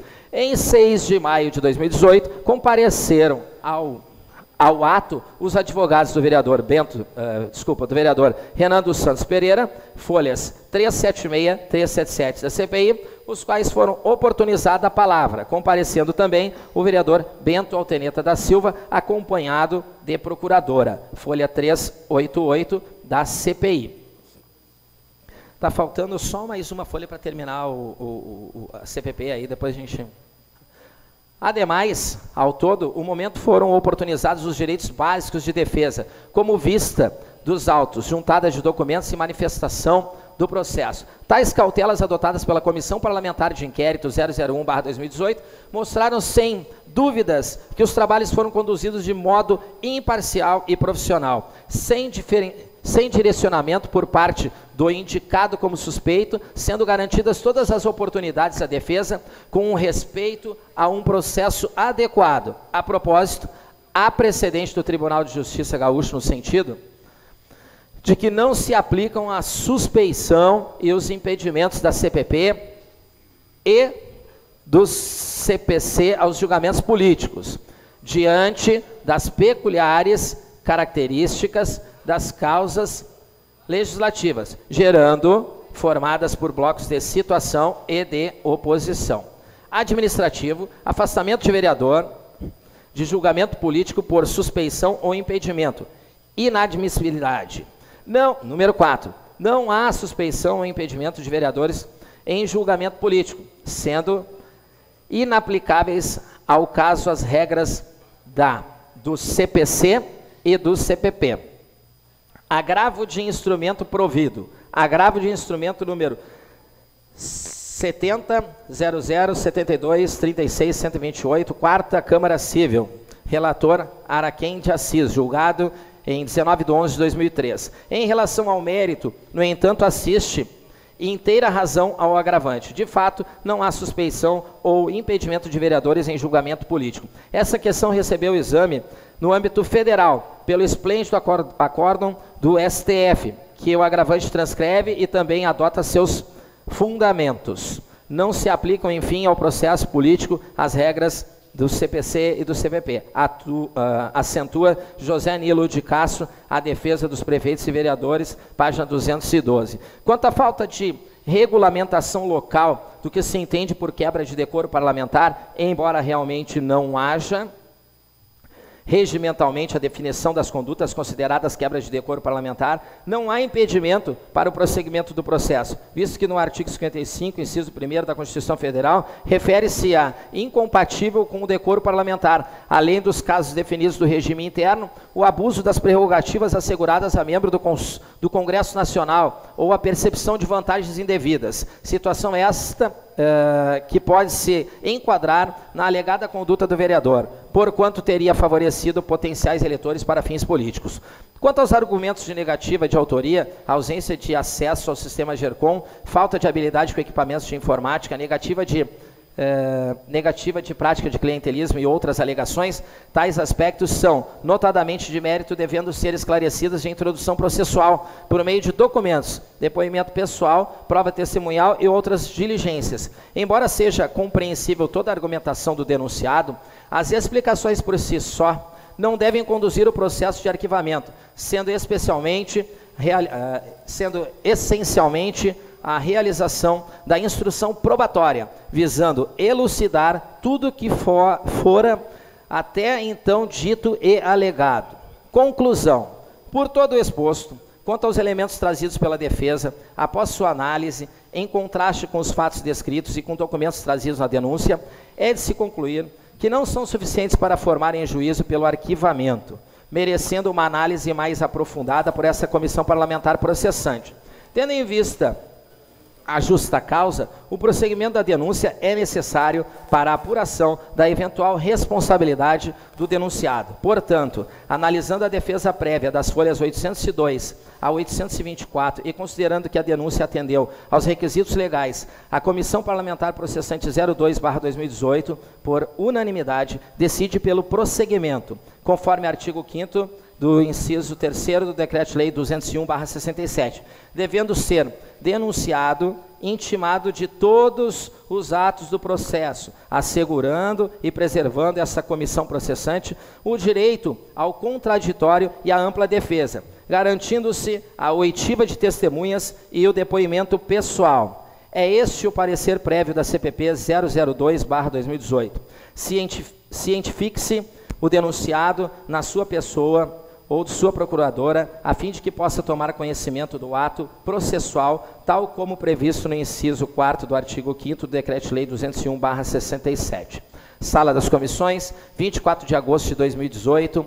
Relator Manuel Eletricista, presidente Everton da Academia, secretário Nelson do Mercado. Eu gostaria de fazer uma proposta ao plenário e às advogadas, se nós poderíamos fazer uma parada de 30 minutos, se todos concordam, a gente parar 30, 30 minutos? Concorda? As advogadas também? Concorda? Não, é, é, vai pela maioria. É, quem concorda em parar? Tá, tá 30 minutos. Então. E as advogadas também concordam? Tá, então está suspenso por 30 minutos.